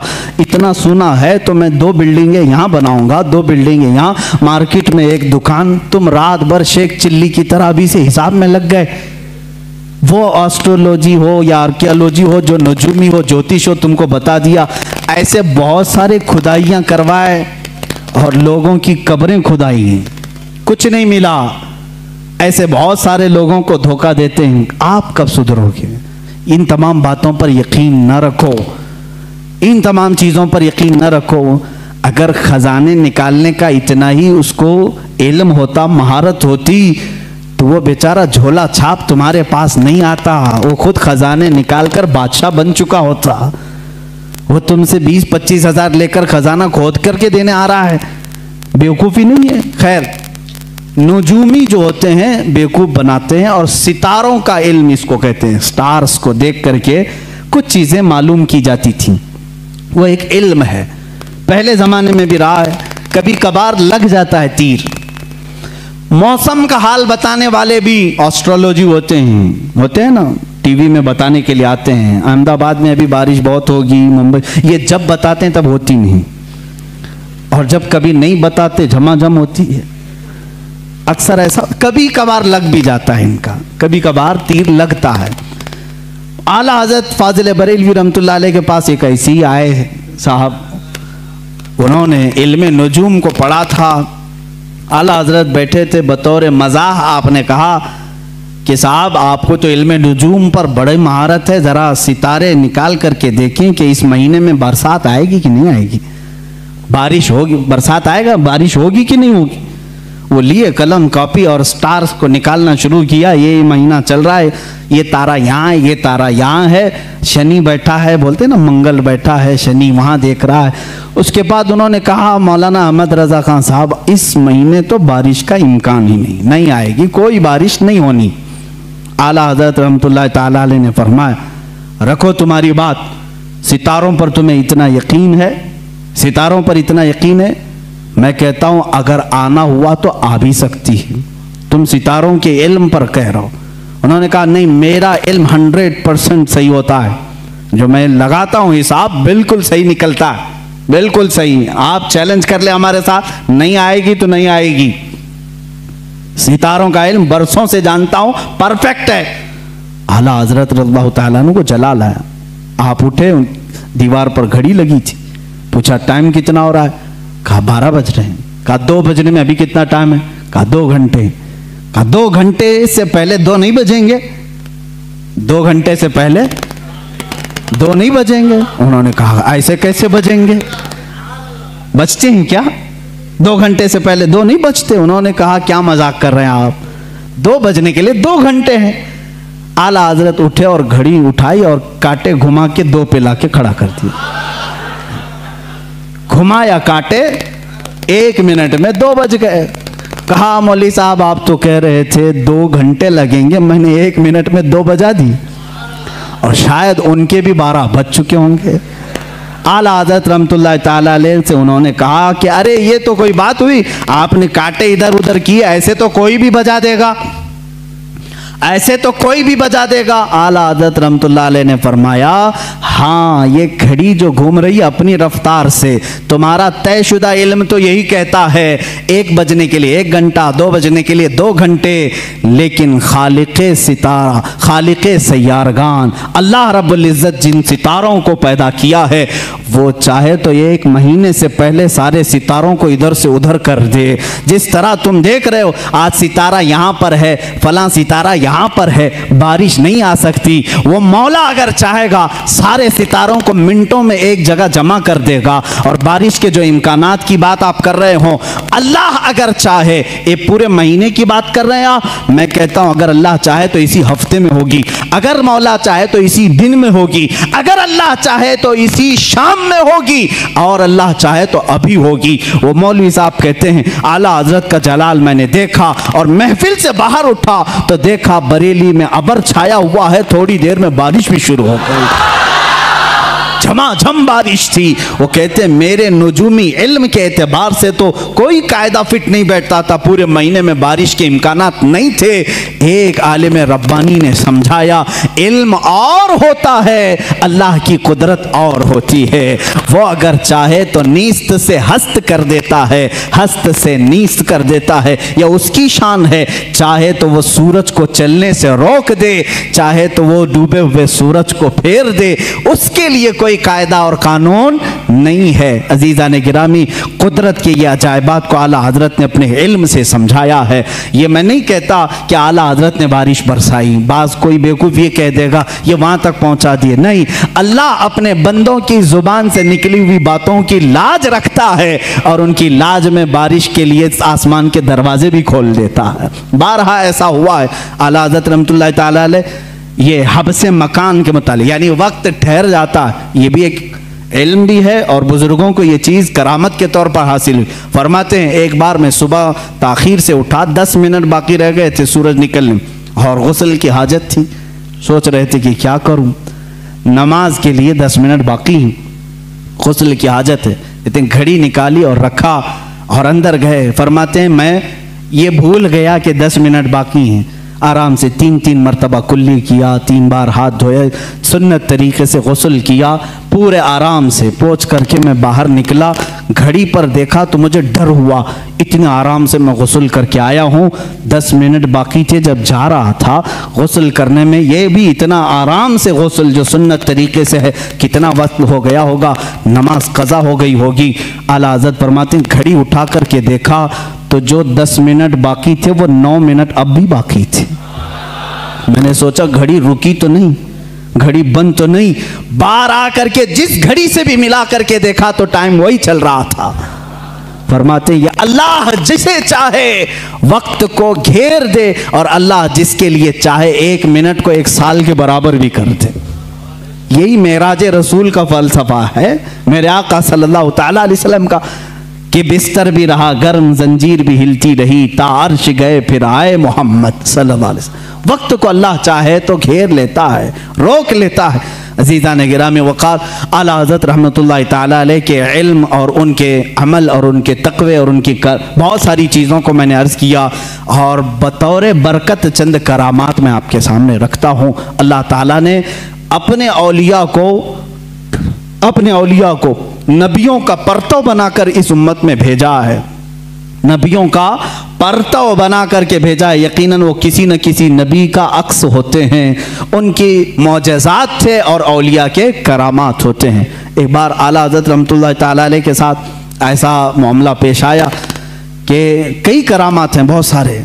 जैसे एक साहब हैं, लाहौर के रहने वाले खुद फरमाते हैं 1920 में उनकी पैदाइश हुई, जिस साल एक साल था आला हज़रत की ज़िंदगी का। 1921 में आला हज़रत की वफात हुई। वो एक साल के बच्चे थे, निमोनिया हो गया था। फेफड़े रुक चुके थे, सांस बंद हो गई थी और माँ बाप सारे लोगों ने देखा और एक कपड़े में बाँध करके उनको पलंग पर रख दिया। घर में रोना धोना शुरू हो गया। बच्चे का इंतकाल हो गया था। एक साल का बच्चा। सांस रुक गई, बंद हो गई। निमोनिया की शिद्दत से वो हमला आवर हुई बीमारी। आला हज़रत रमत के वो पड़ोस थे उनके रिश्तेदार। जब आला हज़रत को ये बात कही गई तो आपको भी गम हुआ। छोटा बच्चा था, अभी पैदा हुआ। आला हज़रत ताला ने कुछ नक्श लिखे और कहा कि इसकी धोनी दें और उस बच्चे की नाक में सुंघाएँ। कहते हैं, वो लेकर के आए, वो बड़े मोतक़द थे। घर आए, उसकी ध्वनि देने लगे और उधर गौसल और जनाजे की तैयारियाँ भी चल रही थी। लोग रो भी रहे थे, गौसल और जनाजे की तैयारी। ये जब ध्वनि दी गई तो उसी लिपटे हुए कपड़े में बच्चा जो है, चीखने चिल्लाने लगा और फिर से उसकी जान में जान आई, जिसम में जान आ गई। उन्होंने खुद अपनी ये बात बयान की, आला हज़रत रहमतुल्लाह ताला की यह करामत थी कि अल्लाह ने मुझे एक और ज़िंदगी अता फरमाए जिसकी साँसें रुक चुकी थी। होता है इस तरह के बहुत सारे मामला किताबों में मौजूद हैं, तहरीर हैं, लेकिन एक बड़ी बात मुझे ये लगी कि दो अंग्रेज़ आए और उन्होंने कहा कि आप ये कहते हैं कि मोहम्मद सल्लल्लाहु अलैहि वसल्लम सबसे अफजल नबी हैं और आप ये कहते हैं कि उनकी उम्मत के उलमा बनी इसराइल के नबियों के नायब हैं, वारिस हैं। उलमा उम्मती, हुजूर सल्लल्लाहु अलैहि वसल्लम ने फरमाया बनी इसराइल के नबियों की तरह हैं मेरी उम्मत के उलमा। तो आला हज़रत से उन्होंने सवाल किया, बनी इसराइल के नबियों की तरह आपके उलमा ईसा सलाम और कई अम्बिया ऐसे हैं जो परिंदों की बोलियाँ जानते थे। क्या आप भी जानते हैं? इस उम्मत का कोई आलिम है? मुझे बताएँ, अगर उम्मत मुस्तफ़ा के ओलमा वारिसीन अम्बिया हैं तो वैसी कोई चीज़ आपके उम्मत में कोई आलिम जानता है? आला हज़रत से उन्होंने सवाल किया। उस वक्त दूर दरख्त पर दो चिड़िया बैठी हुई थी। दो चिड़िया बैठी हुई थी। वो तोते थे या कबूतर थे। आला हज़रत रमतुल्लाह ताला ने फरमाया, आपने सवाल कर दिया है। अल्लाह तबारक ताला उम्मत मुस्तफ़ा का भरम रखेगा। मैं बताता हूँ, वो दरख्त पर दोनों चिड़िया क्या बात कर रही हैं। वो दोनों क्या बात कर रही मैं बताता हूँ। आगे जो बैठी वो कह रही है, सूरज डूबने वाला है, अंधेरा हो रहा है, जल्दी चल। दूसरी कह रही है, नहीं, कल तुम्हें मालूम है, मैं एक गड़े में गिर गई थी, मेरे पाँव में कांटा चुभा हुआ है। कांटे की चुभन का दर्द ऐसा है कि मैं तेज नहीं उड़ सकती। तू थोड़ा आहिस्ता उड़, मैं तेज उड़ूँगी, दोनों बराबर होकर के चलेंगे। आला हज़रत फरमाते हैं, वो दोनों ये बातें कर रही हैं। मियाँ, ऐसे कोई भी बोल सकता है, कोई भी बात कर रही थी। वो अंग्रेज़ थे। उसने कहा कि आपको ये चीज़ें मालूम है? कहा हाँ मालूम है। वो जो बात कर रही है। कैसे पता चलेगा? जाओ, तुमको जैसे देखना है, मालूम कर लो। उसके पास राइफल थी। उस जमाने में जो भी बंदूक थी, उठाया उसने, सीधे बंदूक से गोली लगाई। चिड़ियों को जाकर के लगी। बंदूक मारी या तीर मारा, जो भी मारा, चिड़िया ज़मीन पर आकर गिर गई। जा करके, उठा करके देखा, पीछे वाली चिड़िया के पैर में कांटा चुबा हुआ था और पैर सूजन में था। उसी वक्त वो अंग्रेज़ मुसलमान हो गए। मुझे बताओ, जब उसे ये बात मालूम हो गई कि दरख्त पर बैठी हुई चिड़िया के पैर में कांटा चुबा हुआ है और पैर सूजन में है तो जब ये वो जानते हैं तो ज़ाहिर सी बात है, वो क्या कह रही थी, ये भी जानते होंगे। ये अल्लाह के वलियों की शान है रब तबारक ताला अम्बिया कराम के सदक़े अलिया को करामतों से नवाजता है। वो दिलों के हालात से बाखबर होते हैं, जानवरों की बोलियाँ सब ये और बात है कि हम कह रहे हैं, सैयद इस्माइल मक्की रमत ताला जो मक्का मुकरमा के बड़े पाए के बुज़ुर्ग आलिम दीन वो खुद फरमाते हैं, हरम पाक में कबूतर, बहुत सारे आज भी हैं, उस वक्त भी थे। एक दीवार थी, वहाँ पर मकतबा जो मस्जिद हरम का है, उस पर कबूतर बैठते थे, जो वहाँ आकर के नीचे बैठता, उस पर कचरे गिराते थे। जो भी बैठता था, कचरे गिराते रहते थे। जितनी देर बैठता था, वो कुछ ना कुछ उस पर गिराते रहते थे। आला रमतुल्ला ताले खुद ये वाक़ बयान करते हैं, जब मैं हरम पाक हाजिर हुआ तो बुखार मुझे आ गया। तो बुखार बहुत ज़्यादा हुआ तो अल्लामा सैयद इस्माइल मक्की रमतुल्ला ताले जो बड़ी ताज़ीम करते थे, आला हज़रत को चारपाई बिछाकर उसी दीवार के पास लगा दिया जहाँ वो कबूतर बैठते थे कमरे के अंदर। वहाँ कोई जल्दी बैठते नहीं थे, जो बैठे उस पर कचरा गिरे। आला हज़रत की चारपाई वहाँ लगा दी। इसलिए कि कमरे में कुशादगी वहाँ रखने से ही हो सकती थी, लोगों को मिलने के लिए आसानी थी। लोग आते गए। आला हज़रत फरमाते हैं, वो दोनों कबूतर वहाँ से उठे और सामने की तरफ़ गए। दूसरी तरफ़ जो लोग बैठे थे, उन पर गिराते रहे। तीन दिन आला हज़रत सोए रहे, वो कबूतर कभी उस दीवार पर आई नहीं। ये बात मौलाना अल्लामा सैयद इस्माइल मक्की रमतुल्लाह अलैह, मक्का के बड़े आलिम दीन। उन्होंने मुस्कुरा करके कहा, अहमद रजा, आपका तो हरम के कबूतर भी अदब कर रहे हैं। हमने इन कबूतरों को देखा, बहुत सारे लोगों पर कचरे गिराए जब से आप यहाँ सोए, ये कबूतर यहाँ आए हुए हैं। फिर जब चार पाई उठाई गई तो कबूतर फिर वहाँ आए। आला हज़रत ने इसको अपनी करामत के तौर पर नहीं कहा, बल्कि कहते हैं, हमने इनके खालिक से सुलह कर ली तो अल्लाह ने सारी मखलूक को हमारे साथ सुलह करा दिया। जो अल्लाह से सुलह कर लेता है, जो अल्लाह का हो जाता है, अल्लाह की कायनात उसकी हो जाती है।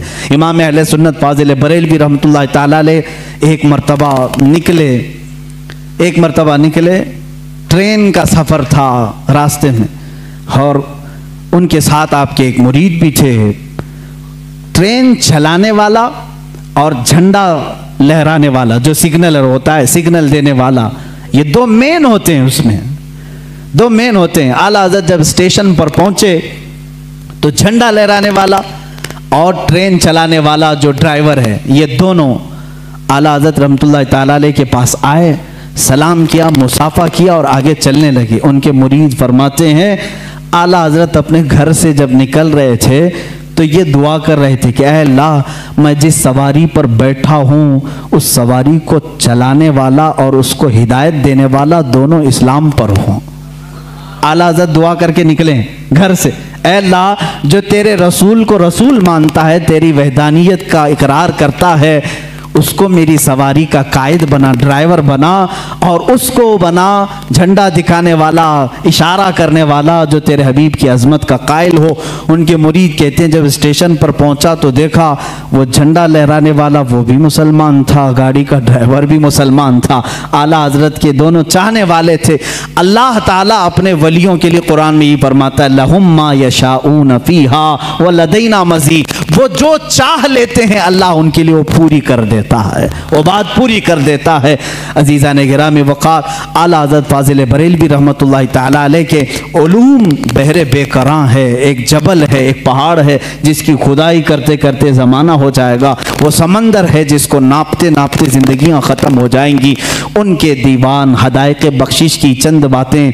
मैं मोहब्बत रसूल में ये पढ़ करके आपके सामने अपनी गुफ्तु को समेटना चाहूँगा। इसलिए कि आपके अशार बारगाह रसूल में मकबूल हैं। रसूल करीम सल्लल्लाहु अलैहि वसल्लम के दरबार में कबूलियत पा चुके हैं। इसलिए कि हमने ये भी पढ़ा, आला हज़रत रहमत जब दूसरी मरतबा सफ़र हज पर थे एक नात लिखी, वो सुए लालाजार फिरते हैं, तेरे दिन ए बहार फिरते हैं। ये पूरी नात है, आला रहमतुल्लाह ताला ने रोज़े रसूल पर जाकर के लिखी। देखें एक बात, पहला जो आप हज किए थे, उस हज के बाद दूसरा जब हज किया आपने, पहले मदीने हाजिर हुए, फिर उसके बाद हज के लिए गए। उसी में ये लिखते हैं आला हज़रत, उनके तुफैल हज भी खुदा ने करा दिए हैं। एक आशिक की ज़ुबान क्या होना चाहिए? देखें, उनके तुफैल हज भी खुदा ने करा दिए असले मुराद हाजरी उस पाक दर की है। हम तो निकले थे बारगाह रसूल की हाजिरी के लिए मौला ने नबी की बरकत से मेरा हज भी करा दिया। और आज के ज़माने में ये कहते हैं, हज कर लो, मदीने जाने की ज़रूरत नहीं। आज भी नजदी ओलमा फतवा भी देते हैं, मदीना जाना ज़रूरी नहीं। और आला हज़रत कहते हैं, उनके तुफैल हज भी खुदा ने कराती हमारा हज भी हुआ है, उनके तुफैल। उसी हाजरी दरबार में आपने ये नात लिखी थी और कहा था, या रसूल अल्लाह सल्लल्लाहु अलैहि वसल्लम, अपने दीदार से हमें मुशर्रफ फरमाएँ, अपनी ज़ियारत से मुशर्रफ फरमाएँ। ख्वाब में आपने अपने नबी कौन सल्लल्लाहु अलैहि वसल्लम की ज़ियारत की थी। आप ये चाहते थे कि आलम बेदारी में, बेदारी के आलम में भी मेरे आका के जलवे को देखें। रोज़ रसूल पर हाजिर रहे, दो, रोज़ाना हाजिर होते रहे, सुबह, दोपहर, शाम, लेकिन वो आलम बेदारी की हाजिरी नहीं हुई। वापस घर गए वापस जहाँ पर रुके थे। आखिर रात में आपने आखिरी शेर ये लिखा, कोई क्यों पूछे तेरी बात रजा? कोई क्यों पूछे तेरी बात रजा? तुझसे कुत्ते हज़ार फिरते हैं। आला हज़रत ने जो लफ्ज लिखा, वही मैं बयान कर रहा हूँ। तुझसे कुत्ते हज़ार फिरते हैं। ये कहाँ तो तेरी बात यहाँ कौन पूछेगा? तेरे से बड़े बड़े ओलमा मशाइ कुतुब वक्त अख्ताब अब्दाल यहाँ आते हैं। तू बड़ी बात का सवाल करके खड़ा है। ये कह करके दोबारा आए रोज़ रसूल पर। कहते हैं, उसी वक्त आला हज़रत फाजिल बरेलवी रहमत ने बेदारी के आलम में अपने माथे की आँखों से अपने हबीब पाक का जलवा देखा। हजूर पाक अलैहि वसल्लम की कब्र अतहर के पास एक जलवा चमका। आपने अपने आप को रोका और फिर ये शेर लिखा, पेशे नज़र वो नौ बहा सजदे को दिल है बेकरार। पेशे नज़र वो नौ बहा, सजदे को दिल है बेकरार। रोकिए सर को रोकिए हाँ यही इम्तिहान है। हुजूर सल्लल्लाहु अलैहि वसल्लम का जलवा दिखा दिया गया। और जब कोई शख्स किसी से बहुत ज़्यादा मोहब्बत करता है, वो चीज़ सामने आ जाए तो झुकने का दिल करता है। आला हज़रत की शरीयत को तो देखो, लोग झूठे पीरों के सामने झुक जाते हैं। रुकू करना भी हराम है, सजदा करना भी हराम है। आला हज़रत अपने महबूब अकरम वसल्लम को आलम बेदारी में देख करके कहते हैं, दिल तो चाहता था कि सजदा कर लूँ, लेकिन शरीयत ने हराम करार दिया है। सजदा होगा तो सिर्फ़ अल्लाह इज़्ज़त का होगा। अल्लाह के अलावा किसी का सजदा नहीं होगा। आला हज़रत फरमाते, पेशे नज़र वो नौ बहा। सजदे को दिल है बेकरार। रोकिए, सर को रोकिए। हाँ यही इम्तिहान है। वो जलवा रसूल दिखाकर तुम्हारा इम्तिहान लिया जा रहा है। कहीं अहमद रजा जलवा रसूल देखकर बहक तो नहीं जाएगा कि सजदा कर लेगा और शिरक कर लेगा, हराम कर लेगा। नहीं, आला हज़रत उस वक्त भी डटे रहे। सबा तो इस्तकामत के पहाड़ पहाड़ बने रहे और उस जलवे जहाँ आरा को अपने सीने में मोजन किया। अजीज़ा ने ग्रामी वो न्यामत कुबरा आपको मिली थी। उस न्यामत बहर बेकरा से आप सरफराज थे। आला हज़रत रहमत का आखिरी वक्त था। उस वक्त भी आप, उस वक्त भी आप टाइम टेबल के अतबार से सारी चीज़ें लिखा रहे, आयत करीमा लिखाई वह युताफ़ व यह आयत जितने अल्फाज मैंने पढ़ा है, इसके अगर हरूफ अबजद आप निकालेंगे, अदद निकालेंगे, तेरह सौ चालीस बनते हैं। अपने भतीजे को निकाल करके दिया कि ये मेरी वफात के साल की आयत है। ये मेरी मौत के साल की आयत चार महीने पहले आला हज़रत रमतुल्ला ने यह आयत लिखाई। आदाद के एतबार से जब जोड़ा जाए, तेरह सौ चालीस हिजरी उसी साल आला हज़रत का इंतकाल हुआ। है जुमा का दिन था, पच्चीस सफ़रमज़फ़र आला हज़रत रमत के विसाल का दिन। दो बजकर अड़तीस मिनट आपके भतीजे मौलाना हसनैन रजा खान रमतुल्ला फरमाते, मैं बैठा था, आला हज़रत वसीयतें लिखा रहे थे। किसका क्या हक होगा गरीबों के लिए, मिसकीनों के लिए, उम्मत मुस्तफ़ा के लिए? आपने बहुत सारी वसीयतें लिखाई। एक बजकर छप्पन मिनट हुए, तब पूछा टाइम कितना हुआ? आपने कहा, एक बजकर छप्पन मिनट, दो बजने में अभी चार मिनट बाकी आला हज़रत ने कहा, उनके बड़े साहबजादे मौलाना हामिद रज़ा खान साहब को बुलाओ। वो जब आए, उनको आने में ताखिर हुई तो आपके छोटे साहबजादे मुस्तफ़ा रज़ा खान रहमत मुफ्ती आज़म हिंद वो आ चुके थे। आला हज़रत ने फरमाया, ये कब की बात? दो बजकर, दो बज चुके थे। कहा, कहाँ हो? बैठो, यासीन शरीफ की तिलावत करो और सूर्य रात की तिलावत करो। कौन कह रहे हैं, जो आखिरी, अभी आधा घंटा बाकी दो बजकर अड़तीस मिनट पर आला हज़रत का विशाल हुआ है। उस वक्त फरमा रहे हैं सूर्य यासीन शरीफ पढ़ो सूर्य रात पढ़ो। मुफ्ती आज़म हिंद रमतुल्लाह तिलावत करने लगे। ऐसे नहीं कि आप गशी के आलम में हों। बल्कि उस वक्त आला हज़रत रमत नहायत तवज्जो के साथ कुरान तिलावत सुन रहे हैं।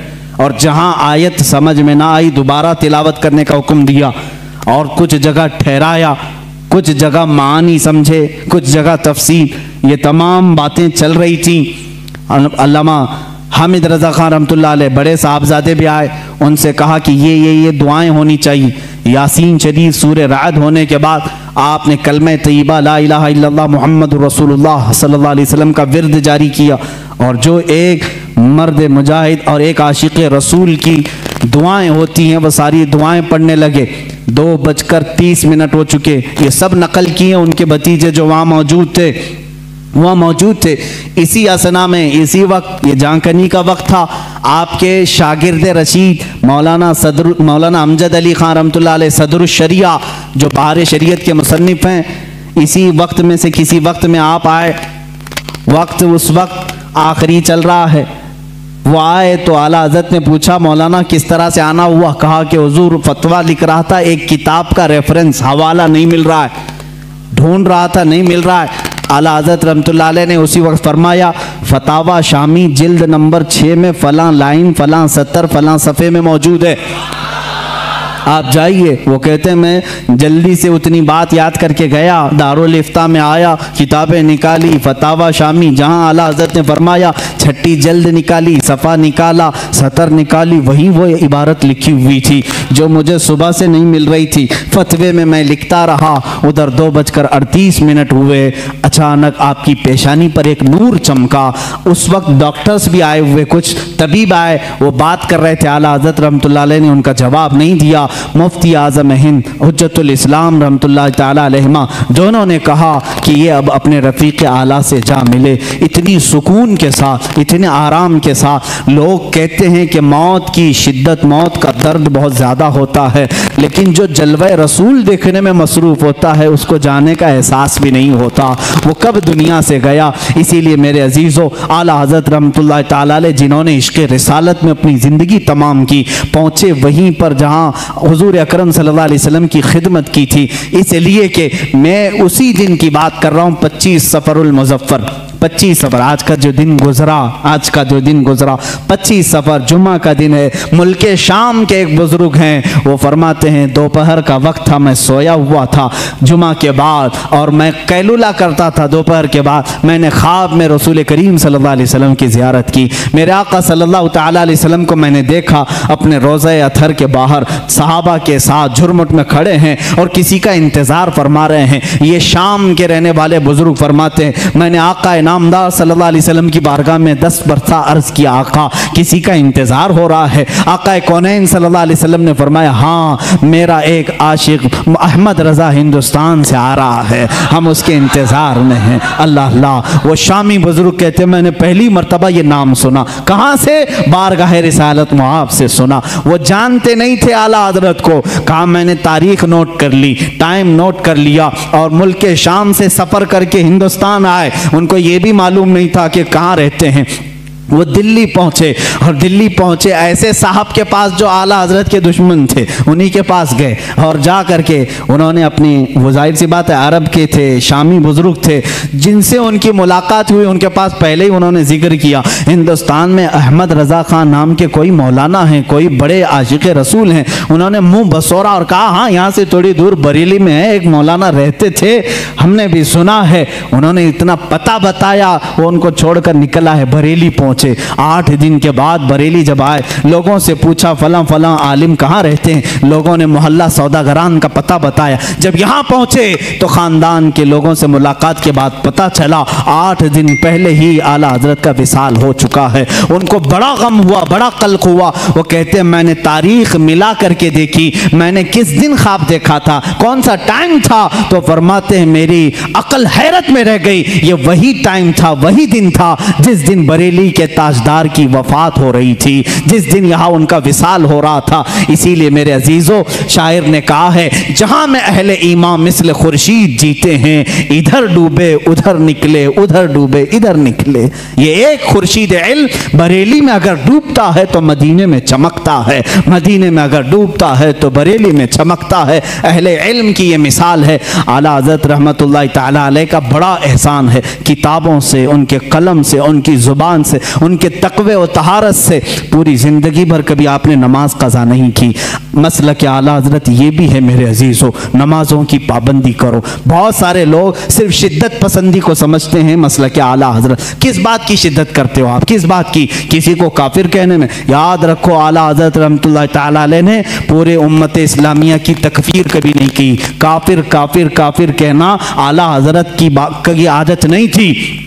हुसाबुल हरमैन को लेकर बाद लोग वावेला मचाते हैं कि इन्होंने इनको काफिर कहा, उनको काफिर कहा। ये झूठे हैं, मैं चैलेंज करता हूँ, ला करके दिखाएँ कितनों को काफिर कहा है। आला हज़रत ने तो उलमाए हरमैन से फतवा मंगवाया था कि यहाँ ऐसी ऐसी गुस्ताखियाँ हो रही हैं। आप क्या कहते हैं? वो चाहते तो खुद मुफ्ती से फतवा देते, लेकिन हरमैन के उलमा से फतवा मंगवाया। उनका फतवा आया कि ऐसे जुमले कहने वाले हिंदुस्तान के जो भी मौलवी हैं, वो दायरे इस्लाम से खारिज हो चुके हैं। और जो उनके कुफ्र में शक करेगा, वो भी काफिर हो जाएगा। इतना सख्त हुक्म हरमैन तय्यबैन से आया, उसको आला हज़रत ने अपनी साइन, अपनी दस्खत से छापा तो ये वावेला मचाने लगे। अरे मियाँ, हमको काफिर बोले काफिर बोले। आला हज़रत ने जो कहा है चैलेंज करता हूँ फांकने से नहीं चलता, ला करके दिखाओ लाओ हमारे सामने। कहाँ कहाँ, किसको किसको काफिर कहा? मैं दिखाऊँगा। मौलाना अशरफ अली थानवी, देवबंद के बड़े आलिम हैं, उनसे ही सवाल किया किसी ने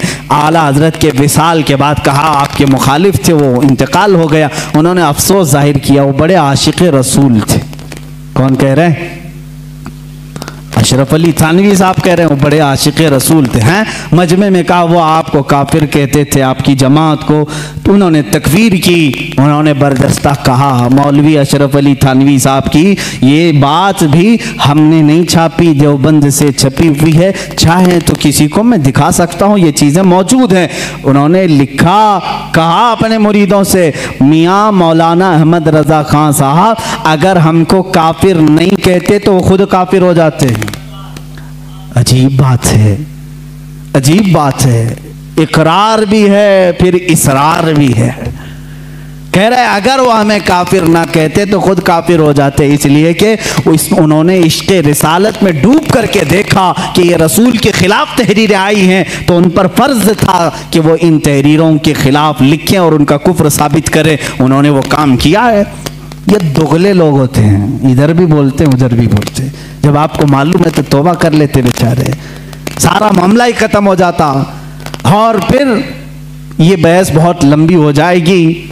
मैं दूसरे दीगर मकातिब फ़िक्र के ओलमा की बातें अगर बताऊँ, दीगर ओलमा जो अहले हदीस के ओलमा हैं, देवबंद के ओलमा हैं, गैर मुखलदीन के ओलमा हैं, उन्होंने भी लिखा है कि आला हज़रत इमाम अहमद रज़ा खान रहमतुल्लाह ताला का कोई सानी नहीं था। इल्म में उनका कोई सानी नहीं। हमारे उलमा की बात छोड़ें, मैं दीगर मकातिब फ़िक्र के उलमा की बात कर रहा हूँ। मौलाना अबुल ओला मौदूदी, मौलाना अबुल हसन नदवी और दीगर लोगों के साथ साथ शायर मशरक अलामा इकबाल ने भी कहा है, इकबाल का तराना बड़े ज़ोर और शोर से गाते हो। हाँ उन्होंने क्या लिखा है? कहते हैं, अगर इमाम आज़म अबू हनीफा अपने ज़माने में अहमद रज़ा खान साहब को देख लेते तो अपने ख़ास शागिर्दों में रख लेते हैं। और कहा कि इस ज़माने के वो सानिय इमाम आज़म अबू हनीफा हैं। हम नहीं कह रहे हैं, ये शायर मशरक इकबाल कह रहे हैं। वो उन्होंने कहा, इसीलिए अपने तो अपने हैं, सारे लोगों ने उनके इल्म का लोहा माना है। आज जिसको तकलीफ़ है तो तकलीफ़ होने दो, सब उनसे जलने वालों के गुल हो गए। चिराग अहमद रज़ा की शम्मा फरोज़ा है। आज भी बारगाह रसूल सल्लल्लाहु अलैहि वसल्लम में आला हज़रत रल्लल्लाहु की नातें तिलावत करो, पढ़ो, तुम्हारा इश्क बढ़ेगा, मोहब्बत रसूल में इजाफा होगा। देखो, उन्होंने हमारा मकसद ज़िंदगी भी हमें बताया है। रसूल करीम सल्लल्लाहु अलैहि वसल्लम की बारगाह में कैसे फ़िदा होना चाहिए, ये भी उन्होंने अपने नातिया दीवान में बताया है। ज़मीन व जमा तुम्हारे लिए, मकीन व मकान तुम्हारे लिए, ये नात पाक में हर हर चीज़ को उन्होंने कायनात की घेर करके रखा और फिर ये कहा, या रसूल अल्लाह सब तुम्हारे लिए है। यही एक मोमिन की मक्का मकसद ज़िंदगी होना चाहिए। आला हज़रत ने हमें यह सिखाया है, दहन में ज़ुबान तुम्हारे लिए, बदन में है जान तुम्हारे लिए हम आए यहाँ, तुम्हारे लिए उठे भी वहाँ। आला हज़रत ने हमें ये सिखाया है, उम्मती होता है रसूल के लिए। मेरे आका के लिए जीना सीखो। जीना में चमन चमन में समन समन में फबन फबन में दुल्हन, सजाए मेहन पे ऐसे मिनन। या अमनो अमा तुम्हारे लिए। क़यामत का नक्शा पेश करते हुए भी आला हज़रत ने अपने रसूल पाक सल्लल्लाहु अलैहि वसल्लम की बड़ाई यूँ ज़ाहिर की है। फरमाते खलील नजी मसीह सफ़ी, सभी से कहीं कहीं ना बनी। खलील नजी, मसीह व सफ़ी, सभी से कही, कहीं ना बनी। ये बेखबरी की खलक फिरी, कहाँ से कहाँ तुम्हारे लिए। इशारे से चाँद चीर दिया, छुपे हुए खूर को फेर दिया, गए हुए दिन को असर किया। ये ताबो तमा तुम्हारे लिए। या रसूल अल्लाह सबा वो चले के बाग फले, वो फूल खिले के दिन हो भले। लिवा के तले, सना में खुले, रजा की ज़ुबान तुम्हारे लिए। ज़िंदगी को शुरू किया ज़मीन और जमा से और ख़त्म कर रहे हैं अपने आखिरी शेर में। लिवा के तले, लिवा कहते हैं, वो झंडा जो अल्लाह ताला अपने हबीब को क़यामत के दिन अता करेगा, जिसको लिवाउल हमद कहते हैं। अल्लाह ताला उस दिन हुजूर को ये झंडा अता करेगा और खुश नसीब मुसलमान उस झंडे के तले जमा भी होंगे। मेरे आका अपने उम्मतियों को उस झंडे तले जमा करेंगे, जो उनकी मोहब्बत में जीते मरते थे। आला आज़द फरमाते हैं, लिवा के तले, उस झंडे के तले भी यार रसूल सना में खुले रजा की जुबा तुम्हारे लिए। ये ज़िंदगी का मकसद होना चाहिए। अखीर में इन नातिया अशार से अपनी गुफ्तु को ख़त्म करता हूँ। आला हज़रत रहमत ने बारगाह रिसालत का एक ऐसा अदब भी हमें दिखाया है और सुन्नियों को जगाते हुए भी कहा है, सुना जंगल रात अंधेरी, छाई बदली काली है। सोने वालों जागते रहियो, चोरों की रखवाली है। आँख से काजल साफ़ चुरा ले, यहाँ वो चोर बला के हैं। तेरी गठरी ताकी है और तूने नींद निकाली है। सोना बन है है, सोना पास है, सोना जहर है। उठ प्यारे, तू कहता है, मीठी नींद है, तेरी मथी निराली है। आला हज़रत ने फरीज तबलीग भी अदा किया, उम्मत को झिझोड़ करके कहा, उठो, ये देखो, ये पूरा सोना जंगल है। रात अंधेरी है, छाई बदली काली है। सोने वालों, जागते रहियो, अब चोरों की रखवाली है।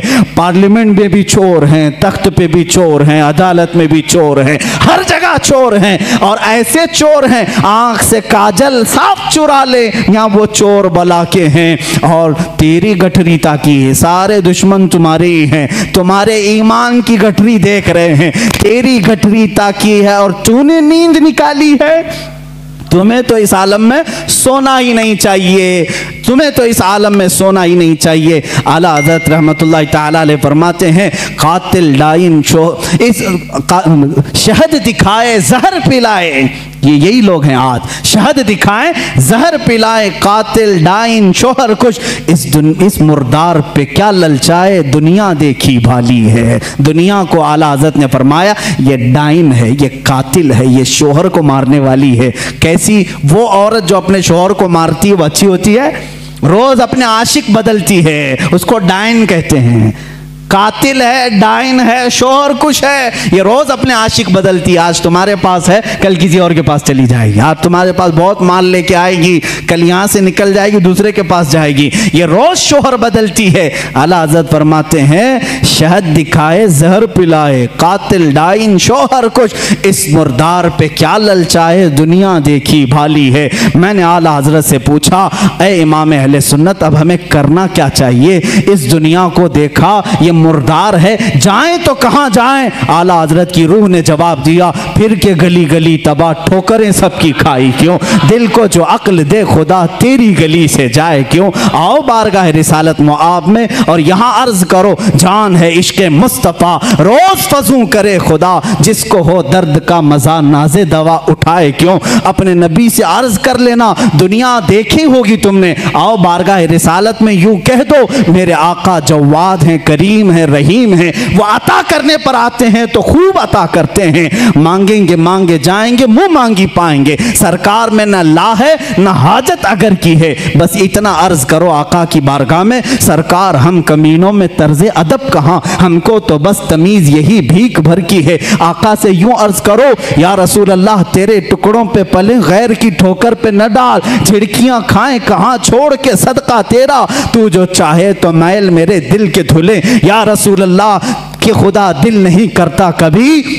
मैला तेरा बारगाह रिसालत में आओ ए गुलामो, यहाँ अर्ज़ करो, यहाँ से मिलता है। वाह, क्या जूदो करम है शह बथा तेरा। नहीं, सुनता ही नहीं। मांगने वाला तेरा। ये वह दरबार रिसालत है। यहाँ कतरा कोई माँगता है तो दरिया दिया जाता है। आखिर में यही आला हज़रत ने अर्ज़ किया, अब तो न रोक ए गनी, आदत सग बिगड़ गई। अब तो न रोक ए गनी। इस शेर को अगर मैं समझा दूँ तो बड़ा मज़ा आएगा। मेरे मुर्शिद गिरामी ने मुझे ये बात समझाई थी। कहा कि इस शेर का क्या मफहूम है? फरमाते हैं, कुत्ते को जब तुम अच्छी गज़ाएँ खाने की आदत डाल लो तो फिर वो कड़क गज़ा नहीं खाएगा, सूखी रोटी नहीं खाएगा। बिस्किट खाने वाला कुत्ता बिस्किट ही खाने लगता है। नरम गज़ा खाने की आदत जिसकी हो जाए, वो वही मांगने लगता है। आला हज़रत रमतुल्लाह ताला फरमाते हैं, बारगाह रिसालत मुआब में, या रसूल हम ये नाजो अंदाज हमारे ये जो कर, करो फर, ये शान, ये सब तो आप ही की अता की हुई है। ये सब आराम, ये नाज आपने दिया है हमें। अब अगर आप रोक देंगे, अगर आप रोक देंगे तो ये बंदा कहाँ जाएगा?